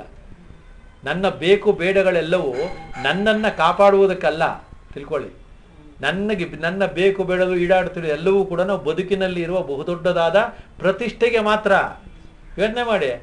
ದೊಡ್ಡ ಪ್ರತಿಷ್ಠೆ. ಇವಾಗ ಮನೇಲೇ ಇದ್ದೀನಿ. ಎಲ್ಲರೂ ಏನೇ ಉದ್ಯೋಗ ಪುರುಷ ಲಕ್ಷಣ ಅಂತಾರೆ ಅಂತ ಇಟ್ಕೊಳ್ಳಿ. ಸುಮ್ಮನೆ ನಾವು ಬೇಜಾರು ಮಾಡ್ಕೊಂಡು ಎಲ್ಲೋ ಡಬ್ಬಿ ಕಟ್ಕೊಂಡು ಹೋಗೋದು. ಉದ್ಯೋಗಂ ಪುರುಷ ಲಕ್ಷಣವ ಸಂಪಾದನೆ ಪುರುಷ ಲಕ್ಷಣನ? ನೀವು ಉದ್ಯೋಗ ಮಾಡು ತಿಂಗಳು ಒಂದು ಲಕ್ಷ ತಗೊಂಡು ವಾಲ್ಮೀಕಿಗೆ ಅದೇ ತಾನೇ ಆಗಿದ್ದು, ಗಂಟೆ ಮಕ್ಕಳಿಗೆ ಅದರಿಂದ ಇಲ್ಲಿ ಅರ್ಥ ಏನು ಅಂದರೆ, ಜಗತ್ತಿನ ಯಾವ ವಿಚಾರಕ್ಕೆ ನಾವು ನಮ್ಮ ಬದುಕೆ ಒತ್ತು ಕೊಡುವಂತೆ, ಹೆಚ್ಚು ಯಾವುದನ್ನು ನಾವು ನಂಬಿಕೊಂಡಿದ್ದೇವೋ, ಅದರಿಂದ ನಮಗೆ ವ್ಯತೆ ಹೋಗುವುದಿಲ್ಲ. ಅದಲ್ವ ಅದಕ್ಕೋಸ್ಕರ ಆದ್ಯಂತಿಕ ದುಃಖ ನಿವಾರಣೆ ಏನಿದೆ, ಅದನ್ನು ಸುಖ ಅಂತ ಅಂದ್ಕೊಂಡಿದ್ದೀವಿ ಆದರೆ ನಮಗೆ ಯಾವುದೋ ಅಜ್ಞಾನದಿಂದ ಕೂಡತಕ್ಕಂಥ ಈ ವ್ಯಥೆ ಬಂದಿದೆ, ಇದು ಹೋಗೋದಕ್ಕೆ ಪೂರ್ಣ ಜ್ಞಾನದಿಂದಲೇ ಹೋಗೋದು. ದುಡ್ಡಿನ ಸಮಸ್ಯೆ ದುಡ್ಡಿನಿಂದ ಹೋಗುತ್ತದೆ. ಹೋಗುತ್ತಲ್ವಾ ಆರೋಗ್ಯದ ಸಮಸ್ಯೆ ಔಷಧಿಯಿಂದ ಹೋಗುತ್ತದೆ. ಹಸಿವಿನ ಸಮಸ್ಯೆ ಆಹಾರದಿಂದ ಹೋಗುತ್ತದೆ. ಅದರಂತೆಯೇ ಸಹಜವಾಗಿಯೇ ಈ ಅಜ್ಞಾನದ ಅವಿದ್ಯೆಯ ಸಮಸ್ಯೆ ವಿದ್ಯೆಯಿಂದಲೇ ಹೋಗುವುದು. ವಿದ್ಯೆ ಎಂದರೆ ಇದೆ. ಅಂದರೆ ಎಲ್ಲವನ್ನ ಯಥಾರ್ಥವಾಗಿ ಹೇಗೆ ತಿಳಿದುಕೊಂಡರೆ ನಮಗೆ ಯಥಾರ್ಥವಾಗಿ ಅದರಲ್ಲಿ ಏನು ಇಲ್ಲ ಅಂದರೆ ಅದಕ್ಕಾಗಿ ವ್ಯಥೆ ಪಡಬೇಕಾದದ್ದಿಲ್ಲ. ಅದಿಲ್ಲ ಅಂತಲ್ಲ ಅರ್ಥ. ತಿರ್ಗಿ ತಪ್ಪು ತಿಳ್ಕೋಬಾರ್ದು. ಅದಕ್ಕಾಗಿ ವ್ಯಥಪಡಬೇಕಾದದ್ದು ಏನು ಇಲ್ಲ ಅಂಥೇಳಿ ಕೇವಲ ಕರ್ತವ್ಯ ಕರ್ಮವನ್ನು ಮಾತ್ರ ಮಾಡುವವನಿಗೆ ಅಂತರಂಗದಲ್ಲಿ ಯೋಗ ಭಾವವಿರುತ್ತದೆ ಸಮತ್ವ ಇರುತ್ತದೆ. ಹೌದಲ್ವಾ? ಯೋಚನೆ ಮಾಡಿ ಯಾರು ಹೋಗೋ, ನಾವು ಏನೇ ಮಾಡಿ ಎಷ್ಟೇ ಹೇಳಿದ್ರು ಕೂಡ ಯಾವುದೇ ಪವಾಡದಿಂದ ನಾವು ಯಾರಿಗೂ ಏನನ್ನೋ ಆರೋಗ್ಯ ಕೊಡಬಹುದು, ಆಯುಷ್ಯವನ್ನು ಕೊಡಲಾಗುವುದಿಲ್ಲ. ಯಾವುದಕ್ಕೆ? ಶರೀರಕ್ಕೆ. ಯಾಕೆ ಕೊಡಲಾಗುವುದಿಲ್ಲ? ಅದು ದೀರ್ಘಕಾಲ ಬಾಳಿಗೆ ಬರುವುದಕ್ಕೆ ಯೋಗ್ಯವೇ ಅಲ್ಲ. ಹೀಗೆ ಅರ್ಥ ಮಾಡ್ಕೋಬೇಕು. ಅದು ಇಲ್ವಾ? ನನಗೇನು ನೋಡ್ರಿ ಸೆವೆಂಟಿ ಆದರೂ ಹೇಗಿದ್ದೀನಿ ಇವತ್ತಿಗೂ ಅಂತಾನೆ. ಮಾನೇ ಅವ್ರ ಮನೆಯವ್ರು ಫೋನ್ ಮಾಡ್ತಾರೆ. ಅವ್ರು ಹೋಗ್ಬಿಟ್ರು, ಬನ್ನಿ ಇದು ನೆನ್ನೆ ತಾನೇ ಈಗ ಅಂದಿದ್ದ ಅಂತ ಅವನು ಅಂದ್ಕೊಂಡಿದ್ದ ಇದೆಲ್ಲ ನೋಡ್ತಿರಲ್ಲ ಅದನ್ನು ಮೊದಲೇನೆ ಚೆನ್ನಾಗಿ ತಲೆಯಲ್ಲಿ ಇಟ್ಕೊಂಡ್ಬಿಟ್ರೆ ನಾವು ಯಾವಾಗಲೂ ಹೇಗಿರ್ಬೋದು? ಹೇಗಿರಬೇಕು? ಸತ್ತಂತ ಇರಬೇಕು. ಸತ್ತಂತ ಇರೋದು ಏನರ್ಥ? ಸತ್ವವನ್ನು ಅರಿತಾರೆ. ಸತ್ತನ ಸತ್ ಸತ್ತ ಅಂತ ಅನ್ನೋದಕ್ಕೆ ಬಂದು ನೋಡಿ. ಸತ್ತು ಹೋಗಿದ್ದಾನೆ, ಪದನ ತಗೊಳ್ಳಿ ನೀವು. ಅಧ್ಯಾತ್ಮವಾಗಿ ನೋಡ್ಬೇಕು ನೀವು ಎಲ್ಲನೂ ಸತ್ತಿದ್ದಾನೆ ಸರಿ, ಹೋಗಿ ಆಯಿತು. ಸತ್ತು ಹೋಗಿ ಇದ್ದಾನೆ ಅಂತಿರಲ್ಲ ಏನದ ಅರ್ಥ? ಸತ್ತೋದ ಮೇಲೆ ಎಲ್ಲರೂ ಇದ್ದಾನೆ? ಅಂದ್ರೆ ಅರ್ಥ ಅವನು, ಸತ್ತೇ ಹೋಗಿಲ್ಲ ಅಂತ. ಅಂದ್ರೆ ಅರ್ಥ ಏನು? ಮೊದಲು ಅವನು ಹೇಗಿದ್ನೋ, ಈಗಲೂ ಹಾಗೇ ಇದ್ದಾನೆ. ಕಾಣ್ತಾ ಇಲ್ಲ ಅಷ್ಟೇ, ಅಲ್ವಾ? ಇತ್ತೀಚೆಗೇನು ಅವ್ರಲ್ಲಿ ನಾಟಕ ಗೀಟ ಡ್ರಾಮಲ್ಲಿ ಮಾಡ್ತಾ ಇಲ್ಲವಲ್ಲ ಅವರು? ಅಂದ್ರೆ ನಿಲ್ಲಿಸ್ಬಿಟ್ಟಾರಪ್ಪ ಆಗಲ್ಲ, ಕೈಕಾಲಲ್ಲ ಅಲ್ಲಾಡಲ್ಲ. ಅಂತಾರ ಇಲ್ವಾ? ಅದರಿಂದ ಈ ಮನುಷ್ಯನಿಗಾಗಲಿ ಬೇರೆದಕ್ಕಾಗಲಿ ಶರೀರ ಮಾತ್ರ ಡಿಫರೆನ್ಸ್ ಇದೆ ತಿಳ್ಕೊಳ್ಳಿ. ಮನುಷ್ಯ ಅನ್ನತಕ್ಕಂಥದ್ದು ಆಕೃತಿ ಏನಿದೆ ಈ ಶರೀರಕ್ಕೂ? ಪ್ರಾಣಿಗೂ ಪಕ್ಷಿಗೂ ನಕ್ಷತ್ರಗೂ ಸೂರ್ಯಂಗೂ ಚಂದ್ರಂಗೂ ನೀರಿಗೂ ಪ್ರತ್ಯೇಕ ಪ್ರತ್ಯೇಕ ಕಾಣ್ತಾ ಇರೋದು ನಿಮಗೆ ಡಿಫ್ರೆಂಟಾಗಿ ಕಾಣ್ತಾ ಇದ್ದಲ್ಲ ಇದು? ಶರೀರ ಭೇದ. ಹೌದಲ್ವಾ? ಚೈತನ್ಯ ದೃಷ್ಟಿಯಿಂದ ಒಂದೇ. ನೋಡಿ ನೀರಿನಲ್ಲಿರುವ ಯಾವ ಚೈತನ್ಯ ಇದೆಯೋ ಆ ಚೈತನ್ಯವೇ ನಿಮ್ಮಲ್ಲಿರೋದು ಮನುಷ್ಯನಲ್ಲಿರೋದು. ಅಗ್ನಿಯಲ್ಲಿ ಯಾವ ಚೈತನ್ಯ ಇದೆಯೋ ಅದೇ ಚೈತನ್ಯವೇ ನಿಮ್ಮಲ್ಲಿರೋದು. ಅದಕ್ಕೆ ಶಾಖವಾಗಿರೋದು ನೀರು ದಾಹ ಉಂಟಾಗೋದು. ವಾಯುವಿನಲ್ಲಿ ಯಾವ ಚೈತನ್ಯ ಇದೆಯೋ ಶಕ್ತಿ ಇದೆಯೋ ಅದೇ ನಮ್ಮಲ್ಲೂ ಇರೋದು. ಹೌದಲ್ವಾ? ಅದೆಲ್ಲದರ ಒಂದೊಂದು ಅಂಶ ಇದರೊಳಗಿದೆ. ಆದರೆ ನಾವು ಪೂರ್ಣರ ಅದು ಒಂದೊಂದೇನೆ ಪೂರ್ಣನೋ ಲೆಕ್ಕ ಹಾಕ್ಕೊಳ್ಳಿ. ಮನುಷ್ಯಂಗೆ ಜ್ಞಾನವಿದೆ ಇದೆ ಅದಕ್ಕೋಸ್ಕರನೇ. ಸರಿ ಆಕಾಶಕ್ಕೆ ಶಬ್ದ ಒಂದೇ. ವಾಯುವಿಗೆ ಸ್ಪರ್ಶ ಒಂದೇ. ಅಗ್ನಿಗೆ ರೂಪ ಒಂದೇ. ಅಂದರೆ ಅದು ಅಗ್ನಿ ಶಾಖ ಮತ್ತು ಬೆಳಕು ಮಾತ್ರ ಇದೆ. ನೀರಿಗೆ ರಸ ಒಂದೇ, ಭೂಮಿಗೆ ಗಂಧ ಒಂದೇ. ಆದರೆ ನಾನು ನಾನು ಅನ್ನೋ ಈ ಮನುಷ್ಯನಿಗೆ ಈ ಐದರ ಒಂದೊಂದು ಅಂಶನೂ ಇದೆ. ಅದಕ್ಕೋಸ್ಕರ ಏನೇನು ಮಾಡ್ತಾನೆ? ಅದನ್ನೆಲ್ಲ ಬಿಟ್ಬಿಟ್ಟು ನಾನೇ ಪರ್ಮನೆಂಟ್ ಅಂತ. ಅದಲ್ವ? ಅದಕ್ಕೋಸ್ಕರ ರಾಕ್ಷಸರ ಬುದ್ಧಿನಲ್ಲಿ ಏನು ಹೇಳ್ತಿರೋದವರು ವರ್ಣನನ್ನು ಎಳೆದು ತಂದು ನಿಲ್ಲಿಸಿದ ಯವನನ್ನು ತಂದು ನಿಲ್ಲಿಸಿದ ರಾಕ್ಷಸ. ಹೌದಲ್ವಾ ಬ್ರಹ್ಮನನ್ನು ಒಲಿಸಿಕೊಂಡ ರೇ ನೀನು ನಂಗೆ ವರ ಕೊಡು ಪರ್ಮನೆಂಟು ಕೊಟ್ಟ ತಕ್ಷಣ ಬ್ರಹ್ಮ ನೋಡಿದಾಗ ಪೂರ್ಣ ತಿವನ ಹಿಡಿಯ ಅದೆಲ್ಲ ನಡೆಯಲ್ಲ ಅಂತ ಪುರಾಣದಲ್ಲೆಲ್ಲ ಇದೆಯಲ್ಲ? ಅದರಿಂದ ಅರ್ಥ ಏನು ಅಂದರೆ ಇಲ್ಲಿ, ಅದರ ಅಂಶದಿಂದಲೇ ಬಂದಿದೆ, ಅದರ ಅಂಶದಲ್ಲೇ ಇದೆ, ಅದೆಲ್ಲವೂ ಭಗವಂತನ ಕಾರಣದಲ್ಲೇ ಪೂರ್ಣವಾಗಿ ಎಲ್ಲ ಕಾಲದಲ್ಲೂ ಇರುತ್ತದೆ. ಅದು ಅದರದ ಜಾಗಕ್ಕೆ ಹೋಗುತ್ತೆ, ಮತ್ತೆ ಅದರ ಜೊತೆ ಬರುತ್ತೆ. ಅದಕ್ಕೆಲ್ಲ ಹಿಂದೆ ಹೇಳಿದೆ, ಒಂದು ವೃಕ್ಷದಿಂದ ಪಕ್ಷಿಗಳೆಲ್ಲವೂ ಬೆಳಗ್ಗೆ ಹೋಗಿ ರಾತ್ರಿ ಮತ್ತೆ ವೃಕ್ಷಕ್ಕೆ ಸೇರಿದ ಹಾಗೆ ಉದಾಹರಣೆ ನೋಡಿದ್ರಲ್ಲ, ಮತ್ತೆ ಸಮುದ್ರದಲ್ಲಿರುವ ನೀರು ಅಲೆಯಾಗಿ ಮೇಲಕ್ಕೆ ಹೋಗಿ ಕೆಳಗೆ ಬೀಳುತ್ತದೆ. ಹೌದಲ್ವಾ? ಆಗ ಅಲೆಗೆ ನಾವೆಲ್ಲ ಮೊನ್ನೆ ಎಲ್ಲ ಮತ್ತೆ ಒಂದು ವಾರದಿಂದ ಅದೇ ಕತೆ. ಎಲ್ಲ ಕಡೆ ಏನಂತ ಹೇಳಿದ್ವಿ? ನೀನು ನೀರು, ನಾನು ಅಲೆ. ಆ ತತ್ವಕ್ಕೆ ಏನು ಹೇಳ್ಬೇಕು ನಾವು? ಏ ತತ್ವವೇ, ನೀನು ನೀರು, ನಾನು ಅಲೆ. ಇದು ನಮ್ಮ ಡಿಫರೆನ್ಸು ಡಿಫರೆನ್ಸ್ ಅಲೆಯಲ್ಲಿ ಇರೋದ್ರಿಂದ ಅಜ್ಞಾನ ಇರೋದು ಹೀಗೆ ಹೇಳ್ಕೊಳ್ಳೋಣ. ಹೇ ಸಮುದ್ರ ಇದೆಯಲ್ಲ ಇರೋದೇನು? ನೀರು, ಅಲ್ವಾ? ನೀರೆಂದರೆ ಸಮುದ್ರ. ಸಮುದ್ರದ ನೀರು ಅಂತ ನಾವು ಕರಿತಿದ್ದೀವಿ ಅಷ್ಟೇ. ಉಪ್ಪು ಉಪ್ಪಾಗಿರೋದ್ರಿಂದ. ಅದು ನೀರಿದೆ. ನೀರಿನಲ್ಲಿ ಅಲೆಗಳು ಹೇಳುತ್ತದೆ ಅಲೆಗಳೆಲ್ಲವೂ ಸಮುದ್ರಕ್ಕೆ ಹೇಳುತ್ತಂತೆ ಏನೆಂದು? ನೀನು ನೀರು, ನಾನು ಅಲೆ. ಸಮುದ್ರ ಹೇಳ್ತಾ, ಆಯ್ತು ಸರಿ, ನೀನೇನು ಅಲೆ? ನಿನ್ನಲ್ಲಿ ಏನಿದೆ? ನೋಡ್ತು ಇದು, ಓ, ನೀರೇ. ಹಾಗಾದರೆ ನಿನ್ನನ್ನು ನೀರು ಅಂತ ಕರೆದ ಮೇಲೆ, ಈ ಅಲೆಯು ನೀರೇ, ನೀನು ನೀರೇ. ಆದ್ದರಿಂದ ನೀನು ನೀನು ಅನ್ನುವುದು ಮಾತ್ರವೇ ಸತ್ಯ, ಜ್ಞಾನ, ಅನಂತ, ಬ್ರಹ್ಮ. ನಾನು ನಾನು ಅಂತ ಬೇರೆ ಅನ್ಕೊಂಡ್ರು ಅಲೆ, ಅಲೆಗೆ ಯಾವಾಗಲೂ ಅಸ್ತಿತ್ವ ಇಲ್ಲ. ಯಾಕೆ? ಅಲೆಯು ಸೃಷ್ಟಿಯಾಗುವ ಮೊದಲು ನೀರೇ. ಅಲೆ ಸೃಷ್ಟಿಯಾಗುತ್ತಿರುವಾಗಲೂ ನೀರೇ. ಮೇಲೆ ಹೋದಾಗಲೂ ನೀರೇ ಮೇಲೆ ಹೋಗಿ ಸುನಾಮಿಯಾಗಿ ಆಹಾ, ತಲೆಗೆ ಬೀಳ್ತಾ ಇದೆ, ಬೀಳ್ತಾ ಅವಾಗಲೂ ನೀರೇ, ಮಧ್ಯದಲ್ಲಿ ಬಂತು ಆವಾಗಲೂ ನೀರೇ, ಸಮುದ್ರದಲ್ಲಿ ಬಿದ್ದೋಯ್ತು ಆವಾಗಲೂ ನೀರೇ. ಏನಿದೆ ಹಾಗಾದ್ರೆ? ಇದೇನಂತ ಕರೆಯೋಣ ಅದಕ್ಕೆ ಯಾವ ಕಾಲದಲ್ಲಿ ಅದಕ್ಕೆ ಅಸ್ತಿತ್ವ ಇದೆ? ನೀರನ್ನು ಬಿಟ್ಟಿರೋದು. ಇಲ್ಲವೇ ಇಲ್ಲ ಅಲ್ವಾ? ಹಾಗಾದರೆ ನೀರೇ ಸಮುದ್ರವಾಗಿ, ನೀರೇ ಅಲಿಯಾಗಿ, ನೀರೇ ಉತ್ಕ್ರಾಂತವಾಗಿ ಪ್ರವಾಸಕ್ಕೆ ಬಂದು ತಾನೇ ಉತ್ಪತ್ತಿಯಾದಂತೆ ಬಂದಂತೆ ಅಂದ್ಕೊಳ್ತಾ ಇತ್ತಲ್ಲ. ಇದಕ್ಕೆ ತನ್ನಷ್ಟಕ್ಕೆ ತಾನೇ ಮಾಡಿಕೊಳ್ಳುವಂಥ ಯಾವ ಶಕ್ತಿ ಇದೆ? ಇಲ್ಲೇ ಇಲ್ಲ. ಹಾಗಾದ್ರೆ ಅದ್ಯಾವುದು ಶಕ್ತಿ? ಅವ್ಯಕ್ತವಾಗಿದೆ ಪರಮೇಶ ಶಕ್ತಿಯಾಗಿದೆ. ಅದನ್ನು ಅವಿದ್ಯವಾಗಿರೋದ್ರಿಂದ ನಮಗೆ ಗೊತ್ತಾಗ್ತಾ ಇಲ್ಲ. ಸರಿಯಾಗಿ ಯಥಾರ್ಥವಾಗಿ ಹಾಗೆಯೇ ತೆಗೆದುಕೊಂಡರೆ ಆ ಅಲೆಯಂತೆಯೇ ಇದೆಲ್ಲವೂ. ಬೀಜವೃಕ್ಷ ನ್ಯಾಯದಂತೆಯೇ ಸೃಷ್ಟಿಸಿದ ಲಯವೆಲ್ಲವೂ. ಹೀಗೆಂದು ಯಾರು ಯಥಾರ್ಥವಾಗಿ ತಿರುಗುತ್ತಾನೋ ಅವನಿದನ್ನು ಯಥಾರ್ಥವಾಗಿ ತಗೊಳ್ತಾನೆ. ಹೌದಲ್ಲೋ? ಅವಾಗ ಅವನಿಗೆ ಏನಾಯ್ತು ಇವಾಗ? ನೋ ಮಾರ್ಕ್ಸ್ ಆಗಲೇ ನಾನು ಹೇಳಿದೆ. There is no beginning for beginning ನಾನು ಶುರುವಿನಲ್ಲಿ ಹೇಳಿದ ಮಾತಿದು. There is no end for end there is end there is beginning but there is no beginning for beginning and there is no end for end because it is eternal ಹೌದಲ್ವಾ? Eternal natural destruction end ಅಂದ್ರೆ ಏನು? Eternal natural destruct natural destruction ಏನರ್ಥ? ಸಹಜವಾಗಿರತಕ್ಕಂಥದ್ದು ಅಂತ, ಸತ್ಯವಾಗಿರೋದು ಅಂತಲ್ಲ ಅರ್ಥ. ಇದೆಲ್ಲವೂ ಸತ್ಯದಲ್ಲಿ ಒಂದಾಗಿ ಬಿಡುತ್ತೆ ಸತ್ಯಂ ಪರಂ ಧೀಮಹಿ. ಯೋಚನೆ ಮಾಡಿ. ಹೌದಲ್ವಾ? ಹಾಗಾದ್ರೆ ಇವಾಗ ಏನು ಅನ್ನಿಸ್ತು ನಿಮಗೆ? ನಾನು ನಾನು ನಂದು ನಂದು ಅಂತ ಯಾವ್ಯಾವುದನ್ನು ಅಂದುಕೊಂಡು ಅವಲಂಬಿಸಿಕೊಂಡು ಅದರಲ್ಲಿಯೇ ನನ್ನ ಪರಿಪೂರ್ಣವತೆಯನ್ನು ಕಾಣುವ ಕೃತಕೃತ್ಯತೆಯನ್ನು ಧನ್ಯತೆಯನ್ನು ಕಂಡುಬಿಡ್ತೀನಿ ಅಂತ ಅಂದ್ಕೊಂಡಿರತಕ್ಕಂಥ ನಮ್ಮ ಅಜ್ಞಾನ ಬುದ್ಧಿಯನ್ನು ಇದು ತೊಡೆದು ಹಾಕುತ್ತದೆ. ಮೇಲೆ ಮೇಲಕ್ಕೆ ತಗೋತ್ತೆ ಅವಾಗ ಏನಾಗುತ್ತೆ? ನ್ಯಾಚುರಲ್ ಆಗಿರುತ್ತೆ. ಏನಿರ್ತದೋ? ಈ ಜಗತ್ತಿನಲ್ಲಿ ಯಾವಾಗಲೂ ಕೂಡ ನಾಮರೂಪಗಳು ಬದಲಾಗ್ತವೆ name and form always changing but eternal ಆಗಿರತಕ್ಕಂಥ ತತ್ವ ಎಂದಿಗೂ ಅದು ಹುಟ್ಟು ಸಾವು ಇರೋದಿಲ್ವಲ್ಲ? ಹೌದಲ್ವಾ ಯಾವಾಗಲೂ ಇರುತ್ತೆ. ಯಾವಾಗಲೂ ಇರುತ್ತೆ ಅಂತ ಅನ್ನೋದಕ್ಕೆ ಎಂದಿಗೂ ಕೂಡ ಹುಟ್ಟು ಸಾವುಗಳು ಬದುಕು ಅನ್ನೋದು ಇರೋದಿಲ್ಲ. ಆದರೂ ನಮಗೆ ಬದುಕಿನಲ್ಲಿ ನಿಮ್ಮ ತಲೆನೆಲ್ಲ ಬರಬೇಕಾದ ಪ್ರಶ್ನೆ ಇದು.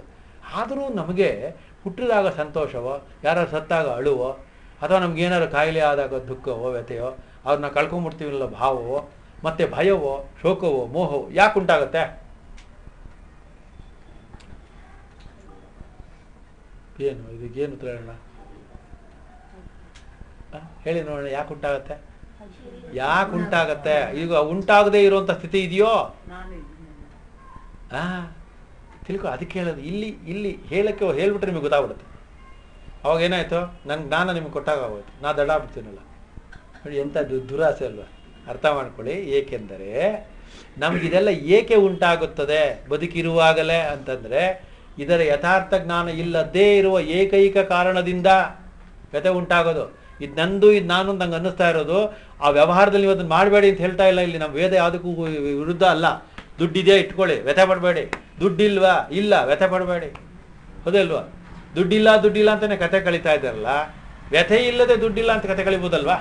ಸೊ ಇಲ್ಲಿ ವ್ಯಥೆನ ಭಾಳ ಪ್ರಮುಖವಾಗಿ ಇಟ್ಕೊಂಡು ನಾವು ಮಾತಾಡ್ತಾ ಇದ್ದೀವಿ. ನಮಗೆ ಸಂತಾನವಿಲ್ಲ. ಆಳ್ರಿ, ವ್ಯಥೆ ಇಲ್ಲ. ಸಂತಾನ ಇದೆ, ಬಂದ್ಬಿಟ್ಟಿದೆ. ಅದರಿಂದ ನಿಮಗೆ ಸಮಾಧಾನ ಸಿಗ್ತವಲ್ಲ ಗೊತ್ತಿಲ್ವಲ್ಲ? ವ್ಯಥೆ ಅಂತೂ ಇದೆ. ಹೌದಲ್ವಾ? ಇಲ್ಲ ಅನ್ನುವುದರಲ್ಲೂ ವ್ಯಥೆ ಇದೆ. ಇದೆ ಅನ್ನುವುದರಲ್ಲೂ ಕೊರತೆಯ ವ್ಯಥೆ ಇದೆ. ನನಗೆ ದುಡ್ಡಿಲ್ಲ. ದುಡ್ಡಿಲ್ಲ ಅನ್ನುವ ಕೊರತೆ. ಇವಾಗ ದುಡ್ಡಿದೆ. ದುಡ್ಡಿದೆ ಏನು ಮಾಡೋಣ ಅನ್ನೋ ವ್ಯಥೆ. ಏನೋ ಮಾಡಿಬಿಟ್ವಿ. ಹೊಟ್ಟೋಗುತ್ತಲ್ಲ ವ್ಯಥೆ. ಆಮೇಲೆ ಬರುತ್ತೋ ಇಲ್ವೋ? ವ್ಯಥೆ. ಈ ಜಗತ್ತು ಎಂದರೆ ವ್ಯಥೆಯ ಕಥೆ. ಬೇರೆ ಏನೂ ಇಲ್ಲ. ಹೀಗೆ ಯಥಾರ್ಥವಾಗಿ ತಿಳ್ಕೋಬೇಕು. ಬಿಟ್ಬಿಡಿ ಅಂತಲ್ಲ. ನೋಡಿ ನನಗೆ ಆಹಾರ ಎಲ್ಲ ತಿಂದರೆ ಎಲ್ಲ ಖರ್ಚಾಗ್ಬಿಡುತ್ತೆ, ವ್ಯಥೆ. ತಿನ್ನೋದೇ ಬೇಡ. ಮಾಡ್ತೀರಾ? ಮಾಡೋಕ್ಕಾಗ್ತಾ ಇಲ್ಲ. ಅದರಿಂದನೇ ಶಂಕರ ಭಗವತ್ಪಾದರು ಇಡೀ ಭಾಷೆಯಲ್ಲಿ ಬಹಳ ಚಂದದಲ್ಲಿ ಇದನ್ನು ವಿಭಜ, ವಿಭಜನೆ ಮಾಡಿದ್ದಾರೆ ತಿಳ್ಕೊಂಡಿರಿ. ಒಂದು ಪ್ರಾತಿಭಾಷಿಕ ಸತ್ಯ, ಇನ್ನೊಂದು ವ್ಯಾವಹಾರಿಕ ಸತ್ಯ, ಇನ್ನೊಂದು ಪಾರಮಾರ್ಥಿಕ ಸತ್ಯ. ಪಾರಮಾರ್ಥಿಕ ಸತ್ಯದಲ್ಲಿ ಇದ್ದವನಿಗೆ ಈ ಪ್ರಾತಿಭಾಸಿಕ, ವ್ಯಾವಹಾರಿಕ ಎಂದೂ ತೊಂದರೆ ಕೊಡಲಾರದು. ಏಕೆಂದರೆ ಅವನು ಜ್ಞಾನಿಯಾಗಿದ್ದಾನೆ, ತತ್ವಜ್ಞಾನಿಯಾಗಿದ್ದಾನೆ. ಅಂಥವನಿಗೂ ಕೂಡ ಒಂದು ವ್ಯವಸ್ಥೆ ಇದೆ. ಯೋಗಕ್ಷೇಮಂ ವಹಾಮ್ಯಂ. ನಮ್ಮ ಧೈರ್ಯ ಇಲ್ವಲ್ಲ? ಹೌದಲ್ವಾ ನಮಗೇನು ಅಂದರೆ ನಾನು ಅಂದ್ಕೊಂಡಿರೋ ಸಲ ಯಾವ ಅಂದರೆ ಅವನು ದೇವರು ಅಂತ ಅಂತೀವಲ್ಲ? ಹಾಗನ್ನುವಾಗಲೂ ಯಾವನು, ಅವನು ದೇವರು ಅಂತ ಮೂರು ಕರಿತೀವಲ್ಲ? ಮೂರು ಒಂದೇ. ಬೇರೆ ಆಗದೇ ಇಲ್ಲ. ಯಾವನು ಅಂತ ಅಂತೀವೋ ಅದೇ ಅವನು. ಹೌದಲ್ವಾ ಹಾಂ? ನಾನು ನಾನು ಏನು ಅಂತಂತಿಲ್ಲ ಅದು ಅದಲ್ಲ ಏಕಂ ಏವ ಮಧ್ವಯಂ ಬ್ರಹ್ಮ ತಾನೇ. ಇದು ಯಾಕೆ ನಮ್ಮ ತಲೆಯಲ್ಲಿ ಹೋಗಲ್ಲ? ಆ ಹೋಗದೇ ಇರುವ ಏಕೈಕ ಕಾರಣದಿಂದಲೇ ನಾವು ಎಲ್ಲದರಲ್ಲಿಯೂ ಭಿನ್ನತೆಯನ್ನು ಕಾಣ್ತಾ ಇದ್ದೀವಿ. ಅದು ಇಲ್ವೋ? ಬೇಕು ಬೇಡಗಳಲ್ಲಿ ಡಿಫರೆನ್ಸ್ ಕಾಣ್ತಾ ಇದ್ದೀವಿ. ಸೊ ಇದು ವ್ಯಾವಹಾರಿಕ ಸತ್ಯ. ವ್ಯವಹಾರ ದೃಷ್ಟಿಯಿಂದ ನೋಡಿದಾಗಲೂ ನಾವು ಪಾರಮಾರ್ಥ್ಯದ ನೆಲೆಗಟ್ಟಿನಲ್ಲಿ ನಿಂತು ನೋಡಬೇಕು. ಅದು ಅರ್ಥ ಏನು? You have to be in the standpoint of view of absolute see the relative terms ಅಂತ ಅರ್ಥ. ಅಂದರೆ ವ್ಯಾವಹಾರಿಕವನ್ನು ನೋಡುವಾಗ ನಿಮಗೆ ದೃಷ್ಟಿಕೋನ ಯಾವುದಿರಬೇಕು ಪಾರಮಾರ್ಥಿಕ ದೃಷ್ಟಿ ಇರಬೇಕು. ಆವಾಗ ಇರುವ ಇಲ್ಲದೇ ಇರುವ ಎರಡರಲ್ಲೂ ಕೂಡ ವ್ಯಥೆ ಇರುವುದಿಲ್ಲ. ಅದು ನಮ್ಮ ವೇದಾಂತದ ಮೂಲವಾಗಿರತಕ್ಕಂಥ ತತ್ವ. ಅಂದರೆ ಏನರ್ಥ? ಎಲ್ಲವನ್ನ ನೀವು ಶಾಂತಿಯಿಂದ ಮಾಡಿ, ಶಾಂತಿಯಿಂದ ಆಲೋಚನೆ ಮಾಡಿ, ಶಾಂತಿಯಿಂದ ಮಾತನಾಡಿ, ಶಾಂತಿಯಿಂದ ಕರ್ಮಗಳನ್ನು ಮಾಡಿ, ಶಾಂತಿಗಾಗಿ ಮೂರು ಅಲ್ಲ, ಇದು ತ್ರಿಪುಟಗಳಲ್ಲಿ ಶುರುವಾಗಬೇಕು. ನಾವೇನೋ, ಅಯ್ಯೋ, ನಮಗೇನೋ ಬೇಜಾರಾಗಿದೆ ರೀ ಬೇ ಯಾಕೆ? ಅಭ್ಯಾಸದಿಂದ ಅಷ್ಟೇ. ಭಾನುವಾರ ಇವಾಗ ಓಡಾಡೋ ಅಭ್ಯಾಸ ಇರೋದನ್ನ ಬೇಕಾದ್ರೆ ಕೂಡಾಕ್ಬಿಡಿ ಮನೇಲಿ. ಬೀಗ ಹಾಕ್ಬಿಡಿ ಆಚೆ ಕಡೆಯಿಂದ. ಒಂಥರ ಹುಚ್ಚಿಡ್ದಾಗ ಆಗ್ಬಿಡುತ್ತೆ. ಯಾಕೆ?